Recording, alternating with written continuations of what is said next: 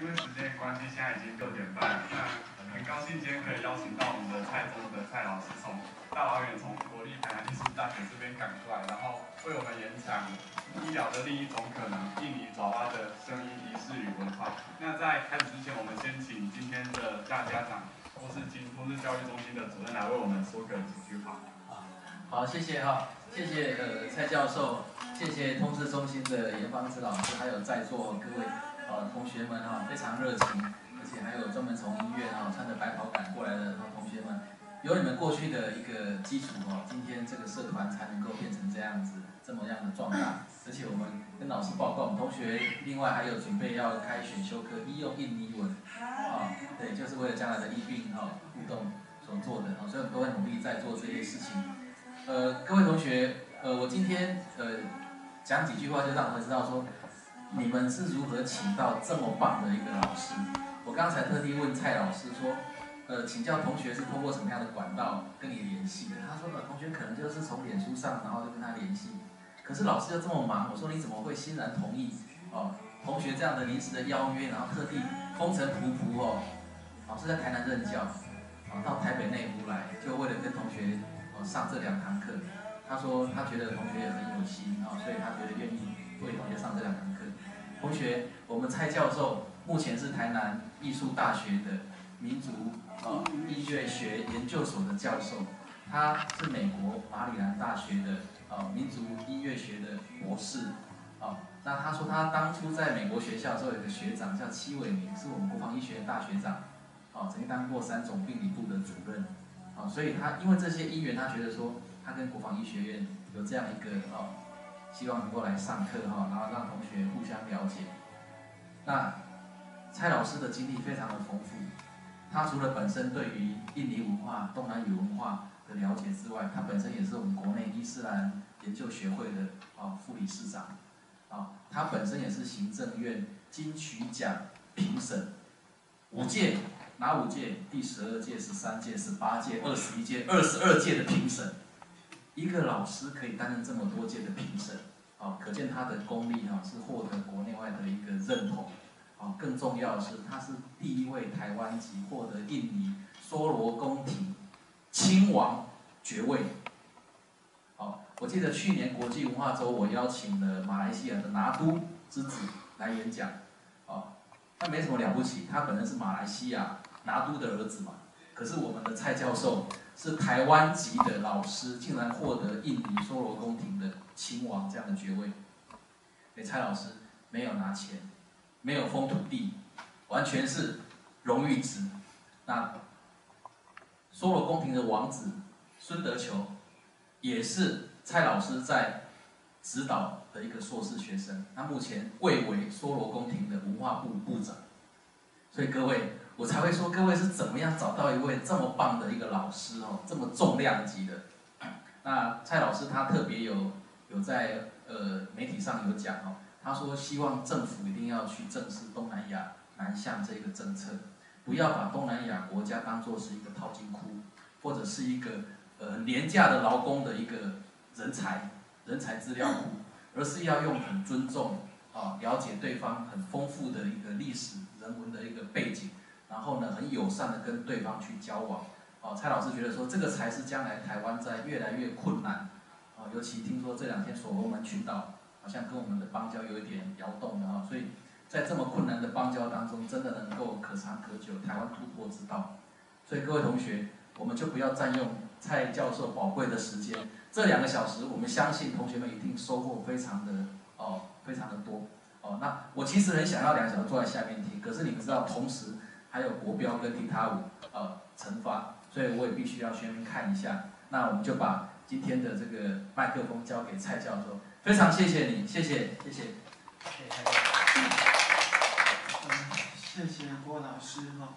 呃，我想我其实我还蛮开心的，因为我们人不是很多，那因为人不多，所以就可以比较轻松一点点，对，就不用太过度的严肃哈。对，那好，那其实刚刚郭老师提到哈，我其实其实我今这学期是那个学术休假，其实我这学期都都都不在国内。所以那个黄同学是不是 在哪？哦，跟我联系的时候，其实我是在大陆的一些大学里面做巡回演讲这样子。对，好，所以还还有在在在呃印尼做一些田野啊，所以这学期几乎不是都是在国外。OK，好，那那那个黄黄同学跟我讲的时候，我说哇，国防医学院我们还蛮喜欢的哦。原因是因为第一个是刚刚刚刚刚刚郭老师他也提到了，因为我学长我是我是马里兰大学毕业，我学长在马里兰的学长，他就是各位的学长，对，然后其实我我我太太也是做做做做什么生物医学资讯的，他是资讯的，可是他专门在做生物医学方面的，他以前读过读过那个台北医学大学的生物医学。研究所在那边读过，对，所以对我而言，嗯，医学系也不会太陌生。哦，我还忘记我之前在中国医药大学的那个医学系那边有兼过课，对，啊就专门在那边讲一些呃一些比较属于呃医学文化之类的一些课哈，所以对我而言其实。呃，来到学院还算是蛮熟悉的，并不会觉得哦。当然了，我以前常常去上金总医院报道哦，所以也很熟悉。啊，开玩笑的。好，那呃，我们回来哈，我们开始跟各位聊一下哈。呃，其实刚刚郭老师他说了哈，我我并我我其实是学音乐的，然后而且学的是比较奇怪的，其实台湾也很少人学我这个，到目前为止。老师背的好像也只有我一个哈，啊，第二个不晓得在哪里哈，好像还没有出生的样子哈。OK，呃，那我们我我我学的东西确实是比较奇怪。第一个，可能各位看哈，第一个我们先把它分成几个部分啊。第一个是民族音乐学，很多人啊，民族音乐学是在干什么？其实他讲的白一点，就是说他是从的文化的角度来研究音乐。那可是呢，我又是研究，呃，医疗民族音乐学，那是什么？就是从文化的角度来看，音乐仪式跟医疗三者之间的一个关系到底是什么？啊，其实过去就是一直在所谓的呃医疗人类学里面在做的，只是说我们加了一个东西，就是音乐，呃，在中间它所扮演的一个角色到底是什么？哦，那要不然基本上是跟。呃，医疗人类学基本上是一模一样的，只是说我们多了声音这一部分，然后多了声音这一部分哈。好，呃，刚刚我也跟各位聊过了哈，呃，之前，呃，怎么讲？就是我写了一本书哈，然后就是讲到印尼的一些宗教医疗体呃宗教音乐的一些医疗体系的问题。那我刚刚也跟各位讲了，我我太太她是学生物医学资讯的。那每次跟她提到这个问题，我们两个就吵架。为什么？因为她是学科学的，然后呢，我学的是文化的。然后他每次都说：“那你用这个音乐去做医疗的行为的时候，那请问一下有没有用什么科、什么呃呃什么验血啊，还是脑脑神经的什么什么什么什么检验的一大堆的机器？那到底到底他们呃在印尼这一种所谓的呃呃巫术体系在做医疗的，到底有没有用？”我说：“你讲那么多。”我们我们才不，我们不管这个医学医了病之后，呃，这种民呃民俗医疗医医呃医的这些病人之后到底有没有用？我们不我们不关心有没有用，我们跟学科学学医学很不一样，我们不在乎有没有用，OK，所以我常常跟我太太吵架就是这样子。他只在乎有没有用，他只用一个科学、用一个医学的角度来看。对不起，我从来不从医学、不从科学的角度来看，我是从文化的角度来看，从心里面的角度来看。我更在乎的是，呃，如果说这些巫术这个体系，它对病人没有用的话，为什么病人还是要去啊？为什么有一大堆病人他就是不想去医院看医生，然后他就是想去看这些巫术？你跟他讲巫术没有用，真的不有就不一定会把你医好。可是对不起，他还是要去看看巫术，他就是不看那种医院里面的这些呃呃医生。哦，这个就好像我妈妈，我妈妈过世了，可是我妈妈还没过世之前，我不知道各位有没有去理解过一件事情。我妈妈还没过世之前，她常常会去那个广播电台里面去买药。然后我就跟他讲，那些药真的吃了会死人的，真的不要乱吃，不要乱买。那里面都很多很多的伪药啊，什么什么都跟他讲。我知道啊。我说妈妈，那你知道为什么还要买？那我就想买。我觉得吃的就很好，很很很有用啊。嗯？为什么？啊，这是这是一个很有趣的问题，是吧？为什么？为什么这些人通通都知道那个吃的可能会死，吃的可能对身体影响很大？可是他就是要。这是一个很有趣的问题。这是一个很有趣的问题，而且在台湾也是这样子，在印尼也是这样子。所以我这边讲到说，我们在乎的不是只是能能不能这些巫术能不能把病治好，这个我们不是很在乎的哈，而是什么？而是到底是什么样的文化会造成这样一个医疗体系，它可以在这样的一个社会体系里面一直存在着？到底是为什么？哦，这是一个比较呃有趣的问题哈。好。那今天要跟各位聊的是，呃，印尼的这种多元文化的这一种民族医疗体系的问题啊。在印尼，当然，呃，其实印尼跟台湾非常非常的像，在历史上面跟台湾很像哦。呃，印尼曾经被荷兰人殖民过，被日本人殖民过，呃，台湾也是嘛哈，我们也被荷兰人殖民过，也被印呃日本人殖民过哈，呃。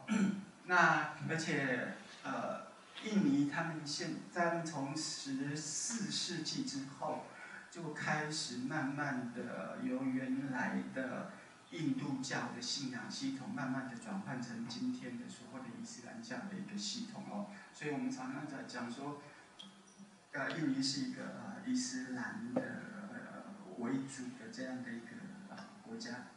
所以，可是印尼呢？又有很多的这一种中国人在那里了，呃，大概有八百多万到一千万之间的呃华人，啊，华人住在那里哦，呃，所以华人其实在印尼也是非常非常多哦，所以从这边各位可以看到哈，这边提到，呃，在印尼除了西方的医学，毫无疑问的，当然也有也有也在印尼非常的。流行，而且也是主要西医还是主主轴哈，而且印尼很多的西医过去都是荷兰人，呃，在印尼建立的这样的一个医医疗系统，几乎都是荷兰人建构的，因为过去是荷兰人殖民地嘛啊，荷兰人在印尼殖民了三百五十年，蛮久的，三百五十年然后，比清代还要久啊，蛮久啊，所以。西医当然毫无疑问的啊，可是我们这里比较不是把它重点放在西医，哦，好，所以在印尼最主要的还是这种传统巫术文化，啊，传统巫术文化，啊，是非常非常兴盛的，而且这也是我今天主要要跟各位聊的啊。再来就是中国的传统医学体系啊，因为我们刚刚讲到了，因为太多的华人，啊，这种中医的体系在印尼也非常非常的多。啊，所以我们只要到印尼的大城市里面，我们到现在还可以看到很多的那个中药店，哦，还是可以还是可以看到很多的中药店的。所以各位可以看到，呃，这是我在印尼拍的，哦，他们也在配中药啊。OK，好，第呃第三个就是所谓的呃印度的医疗体系。刚刚我们说了，因为，呃，印尼过去是印呃印度教的，啊，以印度教为国教的一个。国家，所以毫无疑问的，呃，印度的这种医疗体系在印尼也非常非常的流行，啊，当然特别是在啊巴厘岛，啊，巴厘岛和巴厘岛，我现在他们还是以信仰啊印度教为主轴的。另外一个就是呃伊斯兰教，啊伊斯兰教，啊，所以这种呃伊斯兰的医学体系在。印尼也蛮多的，哦，也蛮多的，啊，呃，只是比较好玩的是，因为现在整个印尼它是以伊斯兰教为主轴，那印尼又是一个很传统的巫术体系的这样的所谓的萨满教的这样的一个宗教体系，所以目前的呃印尼的这种巫术也好，或者伊斯兰宗教体系也好，他们常常把这两个不同的医学的这样的一个文化整合在一起了，哦，变成是巫术里面有伊斯兰的成分，伊斯兰的这种呃医学体系里面又有巫术哈，所以这两个有时候没有办法分的那么的清楚，啊，好，那第五个 就是日本啊，Reiki 啊，日本的那个灵气疗法哦，呃，这个主要还是在于。呃，在日本人，他们尽管在印尼殖民不久，大概只有五年的时间而，啊，不过，呃，这五年，啊，也把印呃日本的这一些，呃灵修的这样的一种医疗体系也带到了印尼来了，呃，后来当然还有很多的是从美国，呃，传到，呃，印尼来的这样的一种日本的这种灵气疗法的这样的一种医学体系哦。所以 目前我们在印尼大概可以看到这六种，连我没有列上去的所谓的西方医学以以外，呃，除了呃西方医学以外，哈，大大概有这五这这五种哦。好，那我今天刚刚也跟各位聊到，我主要是要跟各位聊巫术哈。呃，我主要可是跟跟各位聊到巫术跟医学之间的一些问题啊。那所以我们就要开始提到巫术。其实我刚刚也跟各位讲到了，哦呃，今天的巫术体系它往往是跟伊斯兰的 mysticism 啊，呃伊斯兰的密契主义是结合在一起的，啊，结合在一起的，而且以东爪哇啊以东爪哇为主，啊最多的啊东爪哇现在呃。怎么讲就是这种巫术的体系是是是最受到大家注意的啊，呃，特别是有个地方叫巴尼瓦伊哈，就是我下面写的巴尼瓦伊啊，呃，巴尼瓦伊这个地方哈是目前啊整个印尼爪哇地区巫术最盛行的地方啊，非常非常盛行的，所以 每次我开玩笑的，我都跟同学在聊天的时候就哎。那你们家有印尼外佣是不是？那你小心啊，他他是从哪里来的？如果是从巴牛瓦伊来的话，你就不要惹他哈。当然是开玩笑的，纯完纯纯纯开玩笑的哦。那是开玩笑的，就只是只是在讲说哦，那边的呃呃巫术特别盛行啊。那当然也有人讲到说，哦，其实巴牛瓦伊的这样的巫术系统，事实上是从另外一个东爪哇的西部的一个叫做马贡的那个地方传到哦哦那个巴牛瓦。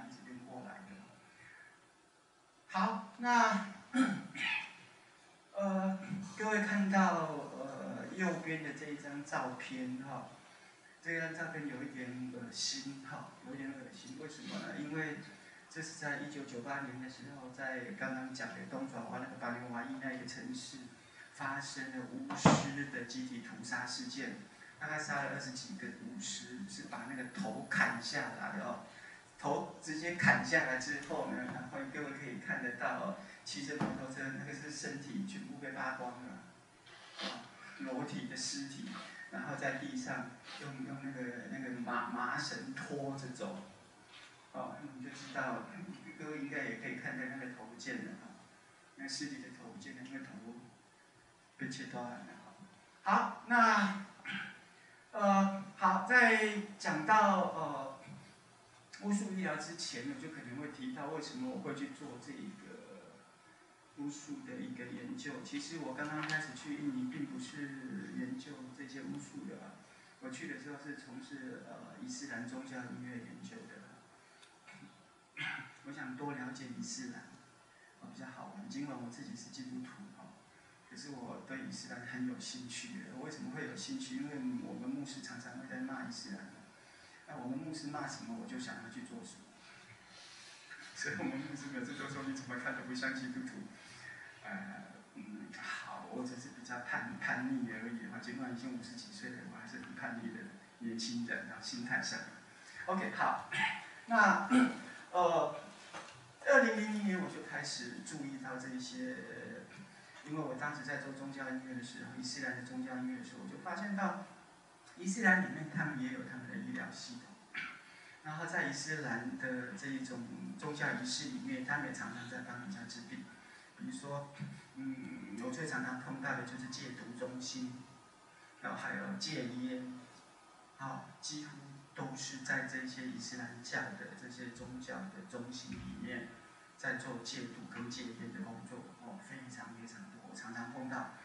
那也因为这个样子，那我就开始那个时候也好奇，那他们怎么如何用宗教的力量去帮忙去戒毒戒烟，去去去做这些事情呢？所以一直引引起我的兴趣，所以我一直到二零一零年的时候，开始呃执行过各位的一个计划，就是在专门做印尼爪哇地区的伊斯兰苏菲宗教医疗跟他的宗教灵修的唱诵，啊，去了解我我刚刚讲的这种宗教，还有他们的呃诗歌的唱诵跟医疗三者之间的一个关系。好，那我回来 讲到。巫术这个东西，那我当时对这个非常有兴趣，因为对我而言，巫术很难理解哈，很难理解，因为他们到底是怎么做的，怎么怎么医病的呃，那我就很有兴趣，想要去去了解这个。后来我才知道，发现天哪，超级难做哦。原因是因为我在那边有一个助理，他是印尼人啊。那他本身也是苏菲教团的，呃，苏菲道团里面的人哦。那他刚刚开始一直在做我的伊斯兰教的这种宗教音乐研究，可是他一听到我要做巫术，他吓都吓死了。他跟我讲说：“老师可不可以不要做这个？你什么都可以做，我什么都可以帮你，可是这个我真的很困难。”我说：“为什么？”原因很简单，因为在印尼从事巫术的医疗。是唯一死刑，就就是你抓到就是判死刑。为什么会那么严重？台湾好像也没有说巫术要判死刑啊，好像也没有这样子。可是在印尼是判死刑的。为什么判死刑？很简单，因为他们是一神教，哦，伊斯兰教，他们只追求真主阿拉，那其他的就是乱七八糟的，就是魔鬼。OK，哦，因为他们是一神教的概念。好那在一神教的世界里面，怎么可能允许你去从事这一些巫术？更何况这个巫术里面，待会我们会会再提到，它又有分黑巫术跟白巫术的问题。啊，黑巫术跟白巫术的问题。好，所以在印尼做这个很敏感，所以到目前为止哈，呃，全世界好像只有我我是唯一一个去做这个的。啊，我我也跟我那个那个助理讲说。这是最后一次了，以后也再也不会做了哈。所以前无古人哈，未来会不会有会不会有哪一个不怕死的来者？那我就不太清楚了，我就不太清楚。可是到目前为止，确实是只有我一个人去做这样子。那因为做这些事情也确实有一点点有一些不太好的记忆哈，比如说常常要去坟墓堆去挖死人。我去把人家那个死，你们可能看死人看多了哈，我们不是哈，你们可能要解剖学是不是哈？常常要看哈，我们不是哈，我们看到很多法律的事情，可是还好都不是，也不是还好，都是这些巫师做的，我们只是在旁边观察而已。所以我我永远都在旁边看，从来没有跟着一起挖过，这个请各位放心了，我没有做违法的，我只在旁边观察，因为做研究的关系了，呃，要不然就是常常要到深深山里面去抓鬼。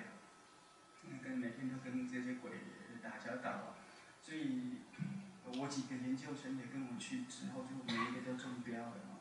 目前为止唯一没有中标的就是我，可能我命比较硬吧。然后我那些学生都被些鬼附身了，然后三更半夜在那边叫叫叫叫叫的，所以我后来也真的怕了，我真的害怕，所以我后来也不做了，因为实在是。身为一个老师，把学生带去那边做研究，然后每一个都都被附身，然后回来了，那该怎么办？老师承担不起这种责任的。OK，好，所以呃，我我那个学生就跟我讲说，老师真的太危险了，你不要命了嘛，一抓到命就不见了，就很麻烦啊，很麻烦。OK，好，那我刚刚在讲说抓鬼的事情哈，嗯，这也是我第一次去抓鬼的。呃，这个是我在印尼伊斯兰大学的学生宿舍。那他们学生宿舍就一直都都都在闹鬼，就是这一间宿舍，各位看到现目前这一间宿舍一直在闹鬼哦。然后本来他们都是找伊斯兰教的教长，伊斯兰大学嘛，哈，怎么可以找巫术？哈，不行了哈。而且又是国立的伊斯兰大学，哈，所以不可以找巫师，一定要找伊斯兰教长。可是伊斯兰教长好像没什么用，哈，就一直都没有办法处理好。后来就找了巫师，啊，那巫师来了，巫师来了，然后那个巫师刚好是我的师傅，啊，所以我就跟着他们去抓鬼。OK，好，这是我一辈子第一次看到鬼。OK，那这个是我们用那个那什么，那个小小的那个叫什么呃摄影机啊，呃那个那个偷拍这个摄影机，哦拍的，好，因为我们是在隔壁隔壁房间，对，隔壁的宿舍，然后用那个偷拍的那个摄影机拍的，OK，那各位可以看一下下，女生。如果怕的不要看，直接进去，然后用这样，这样这样就好了。因为有，因为之前我在一些音乐学院讲座的时候，然后很多女生就很好奇想看，看完之后那一天晚上就好几天都不能睡觉，所以怕的就不要看了啊。我先说了哈，我都先说。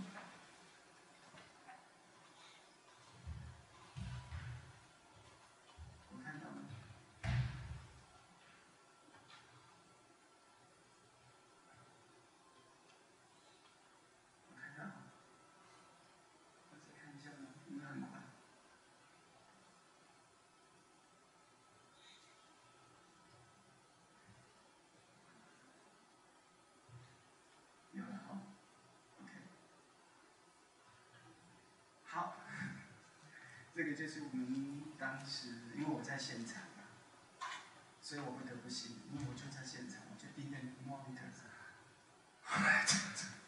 很想大叫，对，可是我不能叫，我不能叫，OK，好，所以我说这是我这辈子第一次看到鬼，哦，蛮好玩的哈。好，那我刚刚讲了哈，那个呃，巫术是。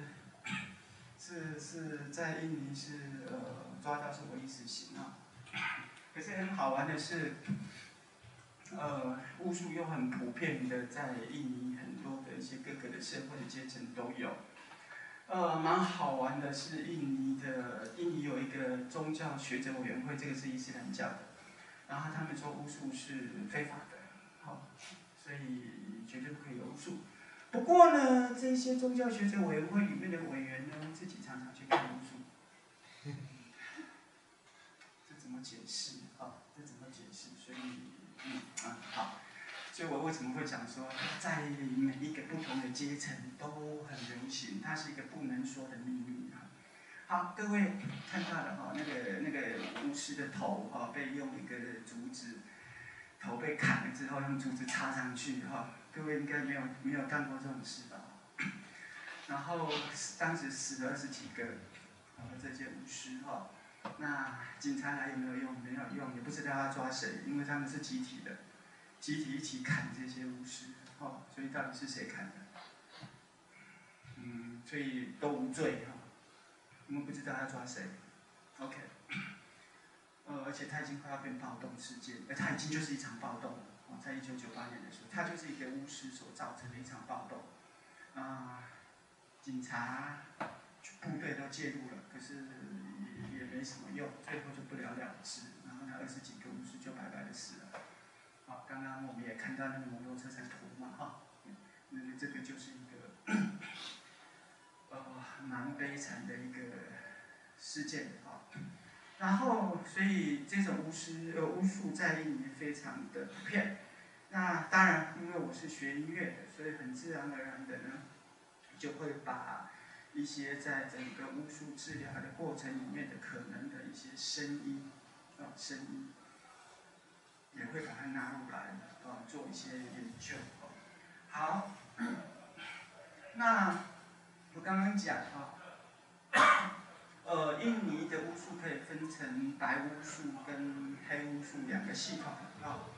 那白巫术是比较好的，它是做一些民俗医疗，然后会帮人家算命，或者是求爱，啊，比如说，呃，你喜欢哪一个女生，啊，那个女生不喜欢你没有关系，很容易解决的，哈。呃，各位有兴趣可以来找我，哈，我教你怎么处理，哈。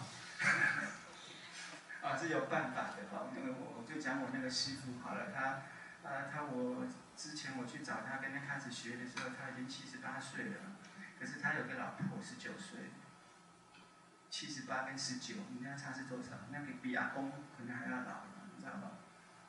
而且那个那个小女生是日本人，日本妹妹，然后一心一意要嫁给他，可是这个我们那个师傅根本不认识他是谁，可是硬要从日本跑到印尼要去嫁给他，然后不嫁还不行，因为他不想回家，就是又黏着那个老爷爷。那老爷爷根本没有牙齿，掉光光的。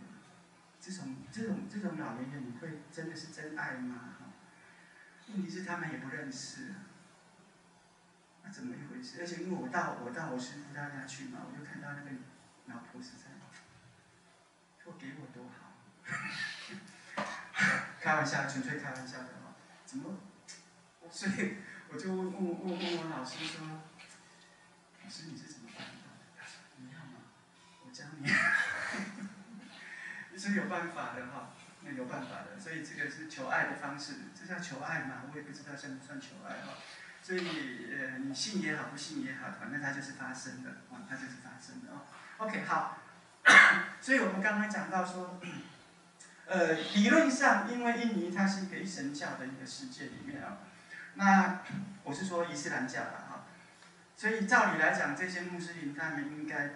去，就是说不去做这一些呃传统的巫术哈，可是事实上并不是这样子的，哦，太多太多的印尼人，哦，他们常常都是去找巫师治病的哈。好，那是我们讲到这个是白巫术哦，它还有一些是属于呃哦，我在想到说巫术，我们刚刚有提到为什么这些人还是老是喜欢去看巫师哈，呃。看巫师，当然前提他是宗教，也就是说，前提是你信，哦，你信，所以通常在印尼的每一个人，不管你是信仰什么宗教的，你都会相信有祖先的灵魂，相信一些精灵，相信这些传统的这种宗教的一种信仰体系。所以这是一呃，就很多人他不去医院看医生，他相信神，他相信这些祖先，他相信这些精灵会来帮他治病，啊，所以有很多的人是属于这个体系的。第二个就是费用，因为印尼人基本上他还是比较穷一点点，可是你如果到西医院的话，就比较贵，他们真的是看不起。哦，他们太穷了，我看不起这些西医。OK，好，所以很多人也因为这个样子就不去医院看医生了，啊，去找巫师比较便宜哈。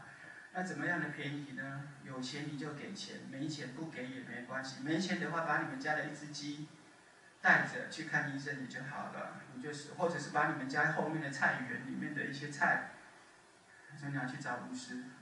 就当当成是医疗费用吧，就可以了啊，没有也没有关系。这就是为什么哈，很多人真的是没有钱啊，他们就宁宁可去看那些巫术。再来就是他们常常会碰到很多不知名的一些病症，然后西医根本就医不好，怎么医都医不好，怎么办？好，呃，所以 就会去找。那我曾经看过一个病例，确实是让我也有一点点压抑，因为有一个女的警察，女警她得到脑瘤，哦，那我看到她去带带去给给我师傅看医生的时候，呃，看巫巫医的时候，他是整个人躺在那个门板上面，他们就用门板。就扛到他们，扛到扛到我我师傅那边去。我师傅就帮他念经，念伊斯兰的这些经文，然后画了符，啊，叫他拿回去，啊，他每天帮他念经，他是说你一个礼拜之后再过来吧。好，那这中间他做了什么事情？他把这个病患的名字，啊，名字哪里疼痛，哦，还有他他父母亲的名字，还有生辰，写在画在一张纸上面，然后就画符，然后就把这个符呢就绑到一头羊的颈子那边绑在那里，然后每天我那个师傅就开始念念经文，那个那个羊好好的没事的哈，结果一个礼拜之后。死了，OK，然后那个那个那个那个那个警女警来了，呃，基本上是人家扶着他走进来的，很奇怪哈。然后医生那个那个我那个师傅就跟他就就直接就请他的几个徒弟就把那个羊的那个头。打开了，然后去看，哇，里面有，哎，我我没有看过人脑里面是都应该是白的吧？是不是？那些脑浆我不知道哈，我没有看过人的。可是那个那个羊的那个都是白的，那里面就有一个地方很黑很黑很黑，对，很硬很黑，嗯。然后我师傅说，我只能说他说。哦他说：“因为他已经把他的脑瘤移到这只羊身上了。那你信还是不信？不信对吧？我也不信，我也不信。可是问题是这个女警好了，才一个礼拜，啊，这个是我看到的，因为是我亲眼看到的，我才会信。刚刚我是不信的，所以你到底要信还是不信？我不知道哈。”所以我刚刚不是想了吗？信不信由你，我只讲我看到的现象，好，就这样子，，OK，好，所以这有有一些不知名的或者西医他可能没有办法治疗的这些疾病，就往往会去找这些武士来处理的，好，所以我们去看这些病人大概是这三种，好，这三种呃病人是会去看看这些巫医的的病人，就大概都是属于。这这些好，那再来就是我们讲到黑巫术哈，在印尼的黑巫术大概有两种，啊大概有两种，一个是那个 s k i r 啊 s k i r 那第二个是叫 b o 啊，那 s k i r 呢，它通常是用来杀人的啊，呃，或全身浮肿哈，那。比较常见的就是他会从他的腹部，哦，会找到很多的刀子啦，针啊、碎玻璃啦，或者是动物的死尸啊，哦，会看到这些东西哈。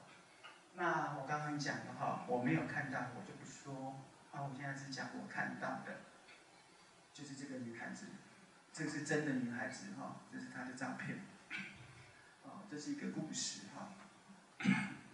呃，这个女孩子呢，其实她原来有个男朋友，呃，跟我讲完，你不要会害怕哦。最近好像电视常常播哦，情杀，这个也类似于情杀。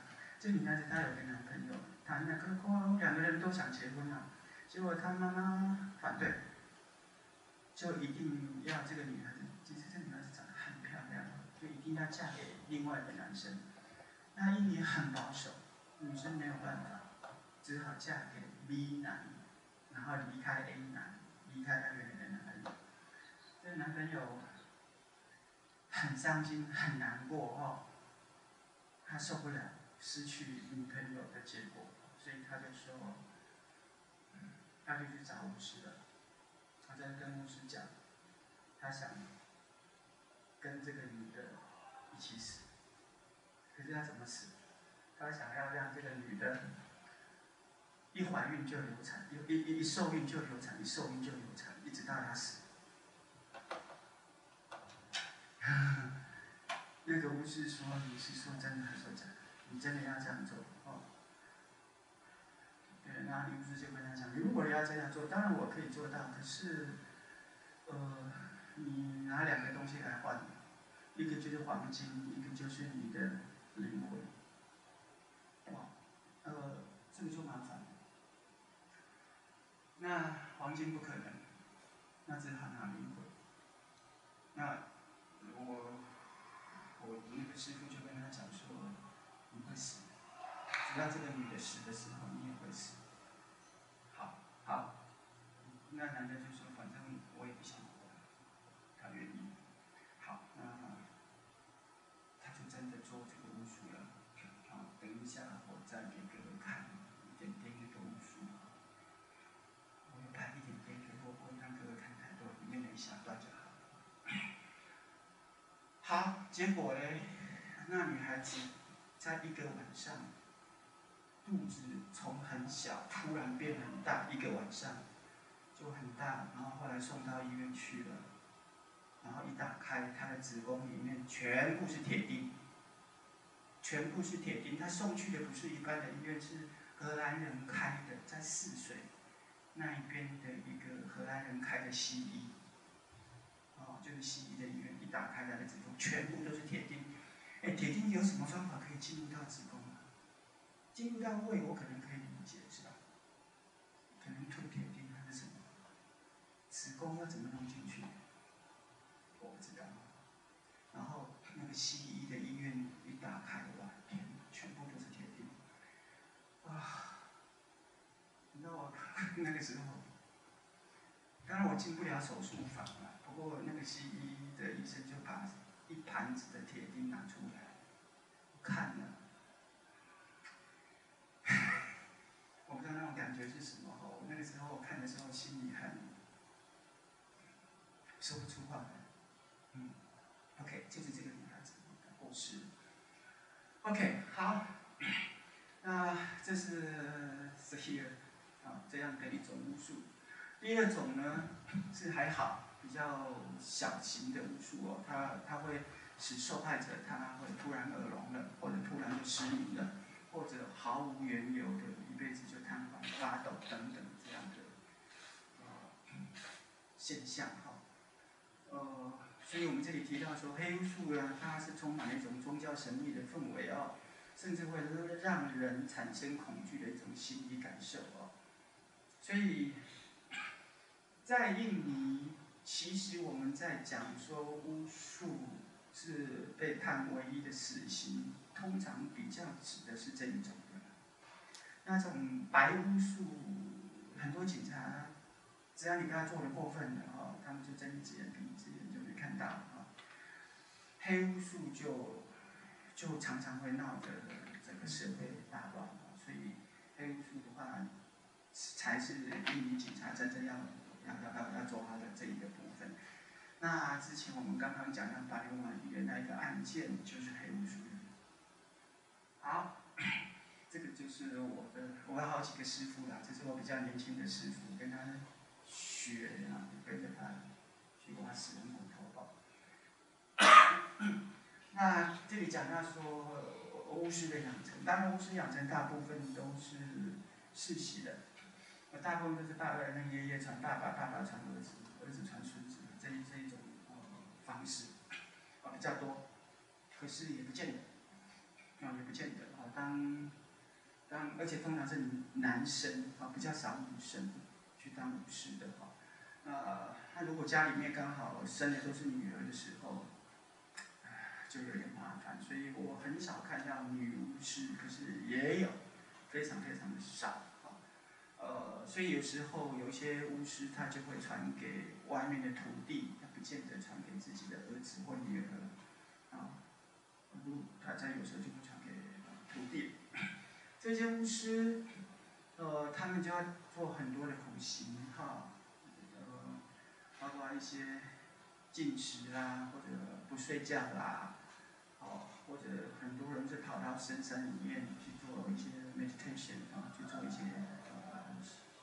灵修的这一些工作，哦，所以特别是一九九八年那一次案件之后，很多巫师都跑到深山里面去了，所以后来我在做研究的时候，不得不都只能，嗯，只能到山里面去找这些巫师。哦，OK。好，呃，我今天要跟各位介绍的是一种呃巫术的系统哦，就是叫角兰贡。呃，角兰贡这一种巫术，那么这种角兰贡的巫术，它大概可以分成三个步骤。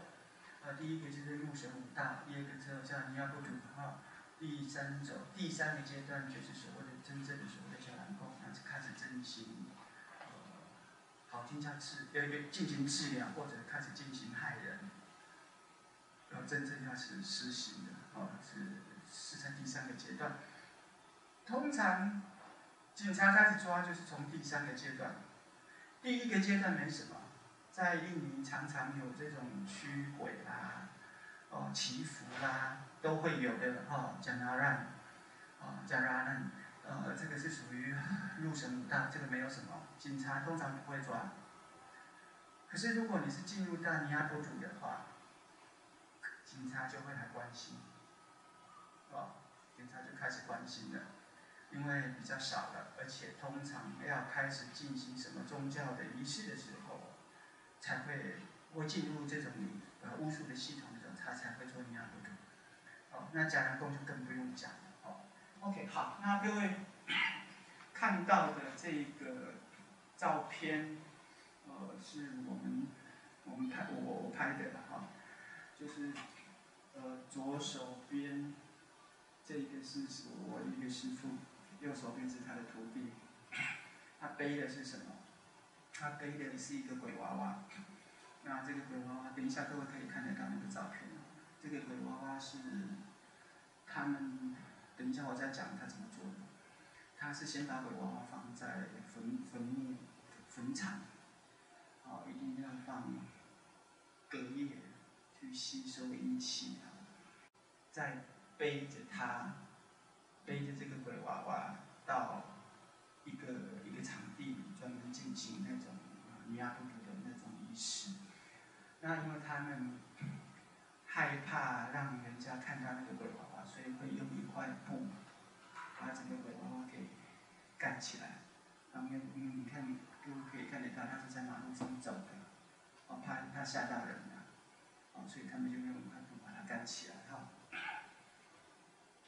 好，那所以会进入三个三个步骤。那第一个步骤。就是所他的所谓的入神五道，这个入神五道呢，通常它就是在迎接村落之神，有一点类似我们台湾的土地公，哦，就是你在这个村子里面，它会有这个村子里面的土地公，哦，那他会先祈求，哦，这个土地公，呃，山羊德萨，呃呃，这个这个德萨，这个这个山羊德萨，他是不是，呃，允许？他们迎来很多村子里面的祖先的灵魂，或者是说这个村子里面的一些动物的灵体，啊，拿来保护这个村子，或者是说来驱驱邪，哦，他第他会第一个先做这个，好，这个没有问题的时候，就会开始进入第二个，第二个就是他会祈求一些灵体的祝福，然后借由这个灵体。进入到这个鬼娃娃，哈，那个尼亚布鲁就是这个人偶，哦，这个鬼娃娃，哦，让这个鬼娃娃借由这些灵体，当然我们这里写的是女性，其实不一定。我想女性是因为我们上次做的，因为，因为不是我我们我们上次我我那个师傅做的，我们好像我参与参与一样，呃，因为他是要。那个男，跟刚刚不是讲那个小男生嘛，要害他女朋友，让他死嘛，所以他就必须要女的找女的，OK，好，所以他找的是女性的灵体，所以，呃，我这里写的女性灵体是因为以我那个做田野的那个案例来来来来来讲的，好，然后我刚刚讲的这个呃他，去吸收在坟场去吸收这些灵气，哈，然后让这些。呃，灵灵体附身在这个人偶上面，哈，OK，好，那我这里讲到这些鬼娃娃到底是怎么怎么做的哦，呃，先讲身体好了，身体它通常都是鬼娃娃，通常都是用竹子去编织出来它的身体。那这个竹子它必须要是在两条河流，呃，两条河流交界的地方，然后那个竹子，竹子垂下来，那个竹子很高很高的竹子它垂下来，那最高的那个地方它垂下来之后，它是能够碰到水的，哦，这样的竹子才可以做。所以也不是一般的竹子可以做的哦，所以其实它要求还是很高的，因为这样的竹子是最阴的，阴到不能再阴哈，所以很多人喜欢买房子买在河流边，是不是？可以啊，哦，可是尽量不要买在两条河流交界的地方，哦，你买的，嗯，好，就蛮麻烦的，因为那个地方是最阴的，可是不知道的人可能很喜欢买在那种地方最冷。漂亮啊！看那个夕阳，那真的两条河流交织多美啊，对吧？可是那边是最阴的哈。OK，好，所以他的身体是用那样的竹子编的。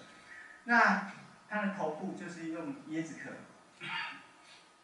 和椰子壳哈去做的。好，那头发呢？就是我为什么刚刚跟各位讲的，我要去挖死人。的尸体就是这样子，就是说，他必须要找到刚好那一天白天有人过世，哦，然后送上山头去埋的时候，那一天晚上去去把那个头发拿过来。所以就是说，你要知道这些当巫师的人要知道随时随地要知道哪里有人过世，而且要知道那个是男的还是女的，尸体是男的还是女的好。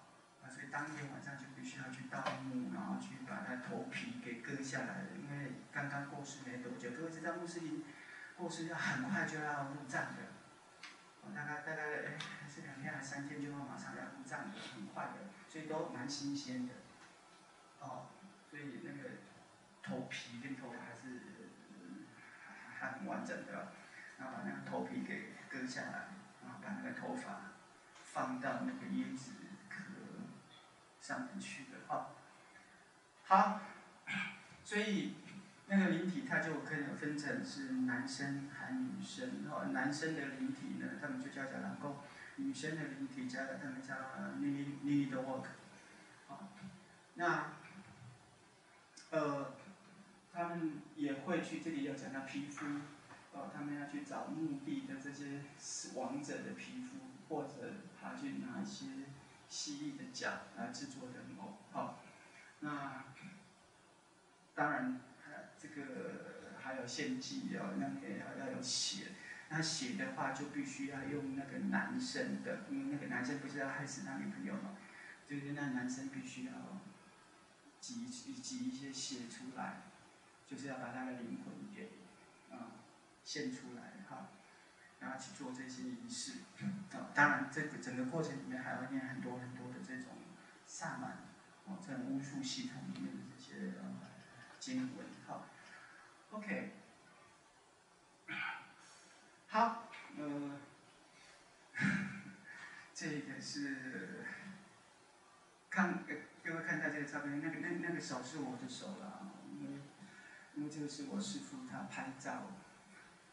他拍的那个照片，因为他做的那个那个人偶，哦，各位可以看到那个脚的部分的这些蜥蜴的那种脚去做出来的，这是他做的。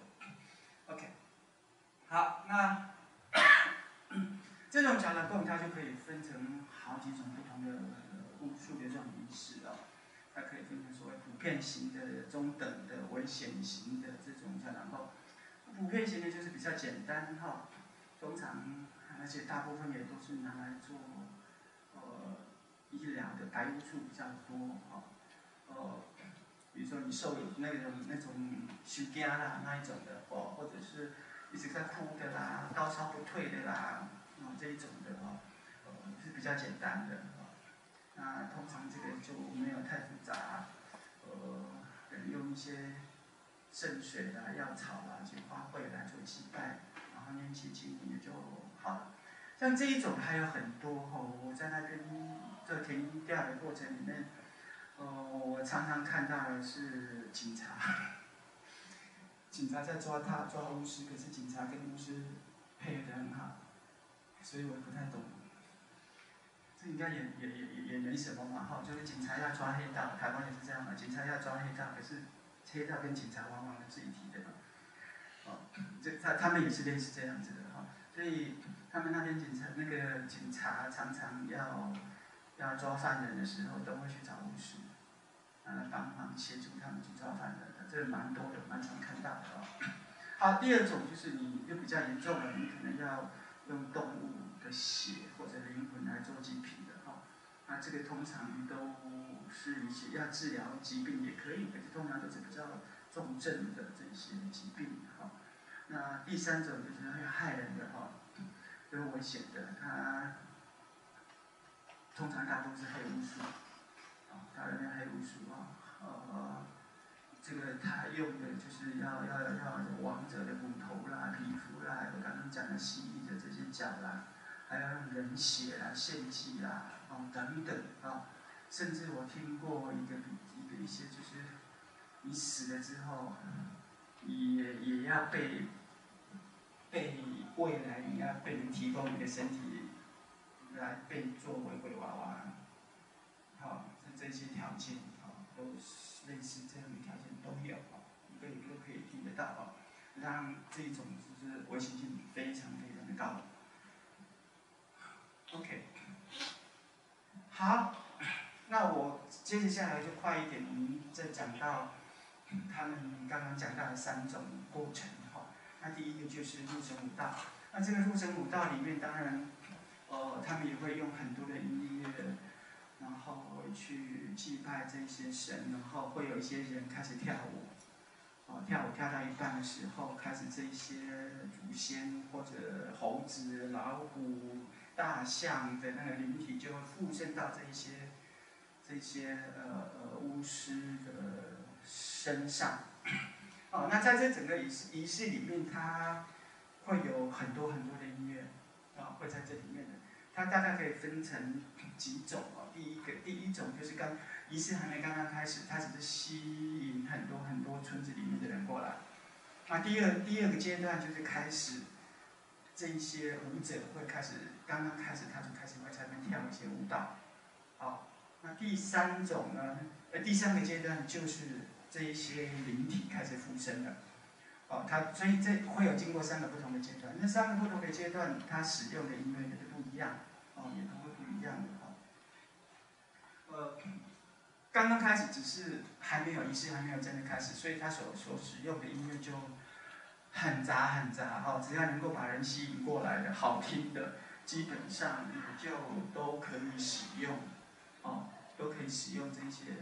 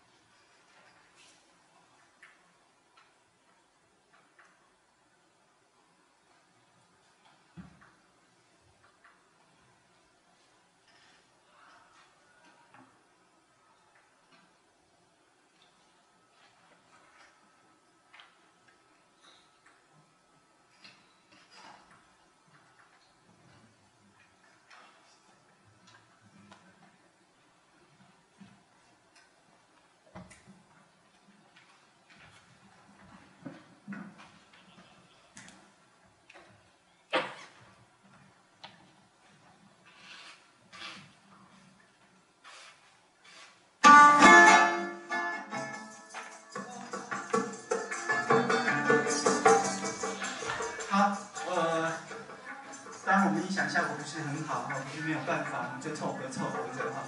好，这个这个就是他们在常常用在那种吸引观众来的，所以很土哈，非常非常土的一些音乐形态。你说它土吗？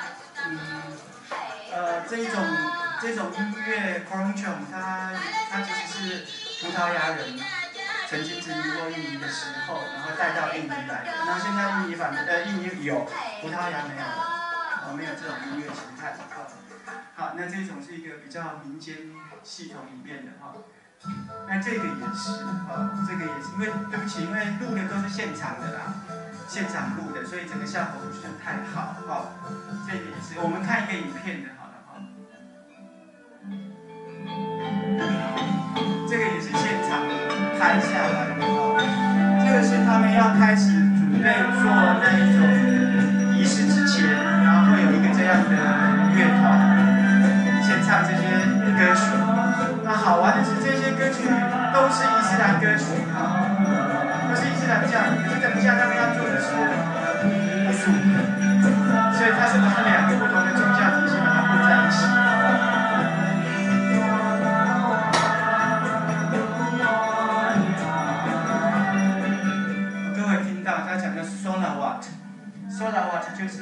伊斯兰教里面哦，祈求呃真主阿拉保守穆罕默德他们一家人的这样的经文。哦，OK，这个塞塞谢，他现在唱的是说的话。好，那这个团体是非常非常有名的，叫哈纳吉的哦。只只要你是去印尼一讲到这个团体，那哈纳吉的，没有人不认识的哦。只有写他们的硕博士论文，应该不下二三十本。哦，硕博士论文就研究他们这个团体，所以他们这个团体也很奇怪哈，可以做到这样子也不容易，让一堆学生去做他们，啊，也也也不容易。所以你会发现到，呃，来听的几乎都是年轻人，哦，所以我常常开玩笑说，它是一种诗歌的。如果要讲你是那个那个基督教的话，有一点点类似在诗歌的布道大会吧。有那种感觉哈，可是重点是，他等一下要做的是那一种巫术啊，这个就会比较奇怪。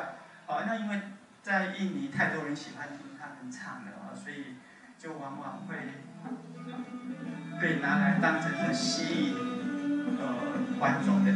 好，各位听到这个曲子会不会觉得好像有一点点耳熟，或者？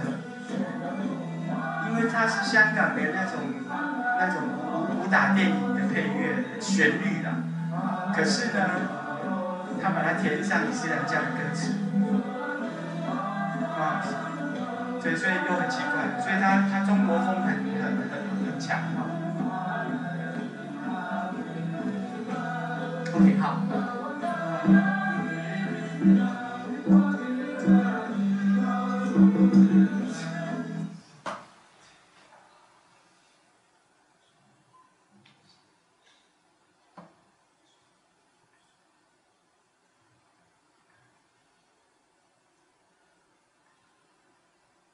OK，好，所以那个其实是刚刚开始哈，在呃吸引人家来的哈，然后再来就是他他们常常用比较传统的一种演出方式的哈，那就是一种不断反复的节奏型，因为这样子的话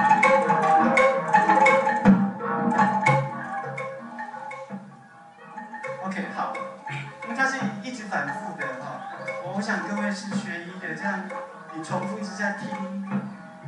音乐的时候，听到最后就开始会帮助你催眠，进入催眠的一些状态，对吧，因为它是在重复，没有没有任何的什么其他的旋律。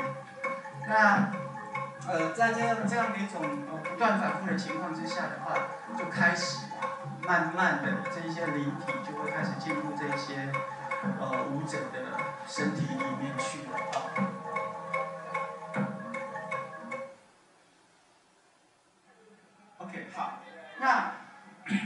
接着这个就是他进入第二个阶段，叫尼亚布图啊。那尼亚布图的时候，他们就会把这个，等一下会有那个那个灵体，那个鬼娃娃就会进来了。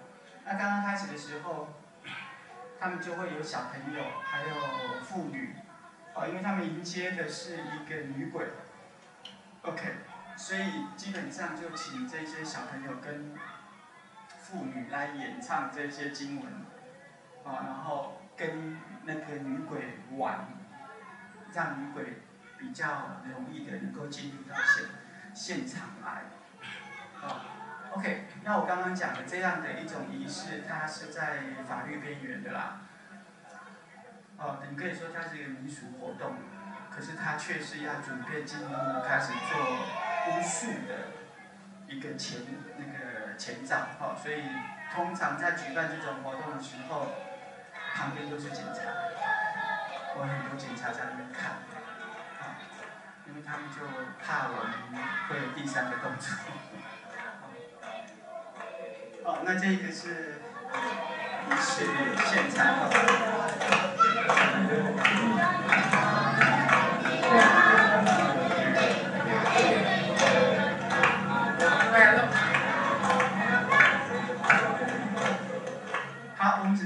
看一下哈，因为它蛮长的哈，蛮长的哈。好，那我们刚刚讲到说他们唱的大部分是是儿歌，好，那我们就把来听一下。这个是现场，现场仪式现场录。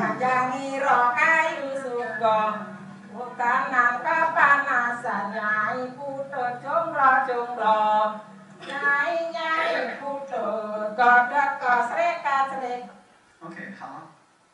可是我们刚刚讲的这一些其实都是儿歌，哦，所以刚刚第一个听到的那一个是经文，可是第二个现在。是外面唱片行有在卖的儿歌，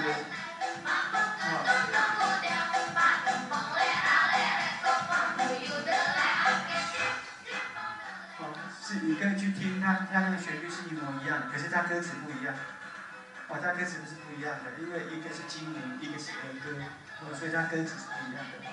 好，那这些儿歌在印尼都非常有名哦，大家都在唱哦，好，所以我就。拿了一个我们学校，因为我们每一年都会送我们的学生去印尼，去那边当交换生，去那边读书，去那边学语言哈，啊，所以我们同学也会去那边学一些乐器，学乐学乐学乐器，然后他们就把，呃，把这些乐器学回来台湾之后，他们就自己组乐团。啊，自己组乐一些怪怪的乐团，像这个日央人儿，这个这个名字我第一次看到这个日日央人儿，这到底是什么东西哈？怎么会叫这样的名字？后来我们那些同学真的是年轻人哦，很有创意。他后来跟我解释，他说日跟央合起来叫什么？印，人跟儿，你拿出来变成印印。哇，天哪，这东西原来原来是这样命名的哦。原来这样叫印尼哈，就是它它这是一个来自于印尼的这样的一个呃世界音乐的乐团。可是事实上它是真的完全印尼吗？其实不尽然哈。为什么？因为它里面有用日本的尺八，又有印尼的安格隆，就是竹筒琴，然后又有小提琴，哦，用了一些一些奇奇怪怪的乐器混在一起的。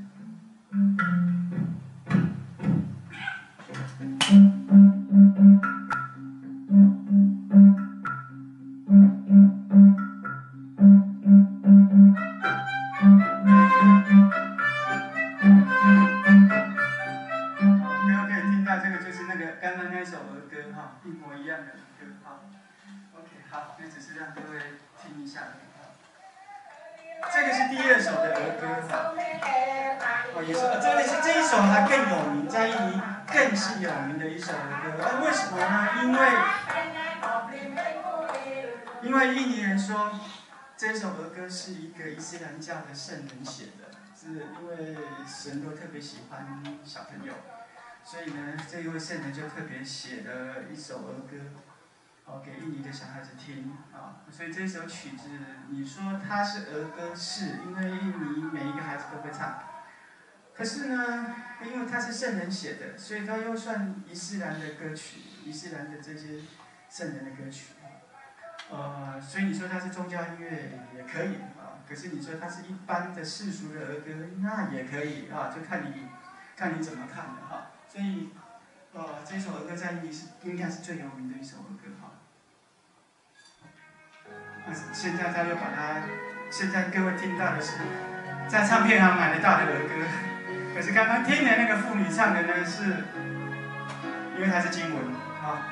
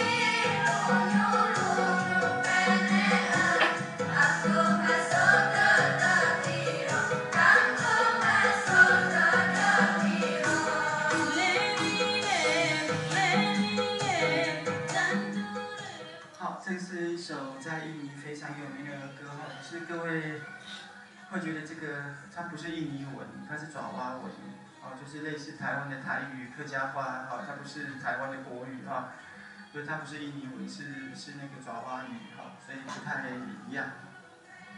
爪哇语很难哈，印尼语大概是全世界最简单的语言，很容易学。可是爪哇语超级难。爪哇语分三个不同的，就是贵族、平民跟奴隶阶级讲的话是不一样的，而且每一个阶级再分三个阶级，所以呃爪哇语总共分九种。九种的爪哇语哈，那不同的人只能讲哪一种爪哇语哦，所以蛮难的。现在大概很难找到有九种爪哇语都会的人哈，不多哈。不好意思，请问是像日本的敬语是有武士啊、天贵族那种阶级的，还是还是可以追溯到种姓制度？它就是种姓制度，其实。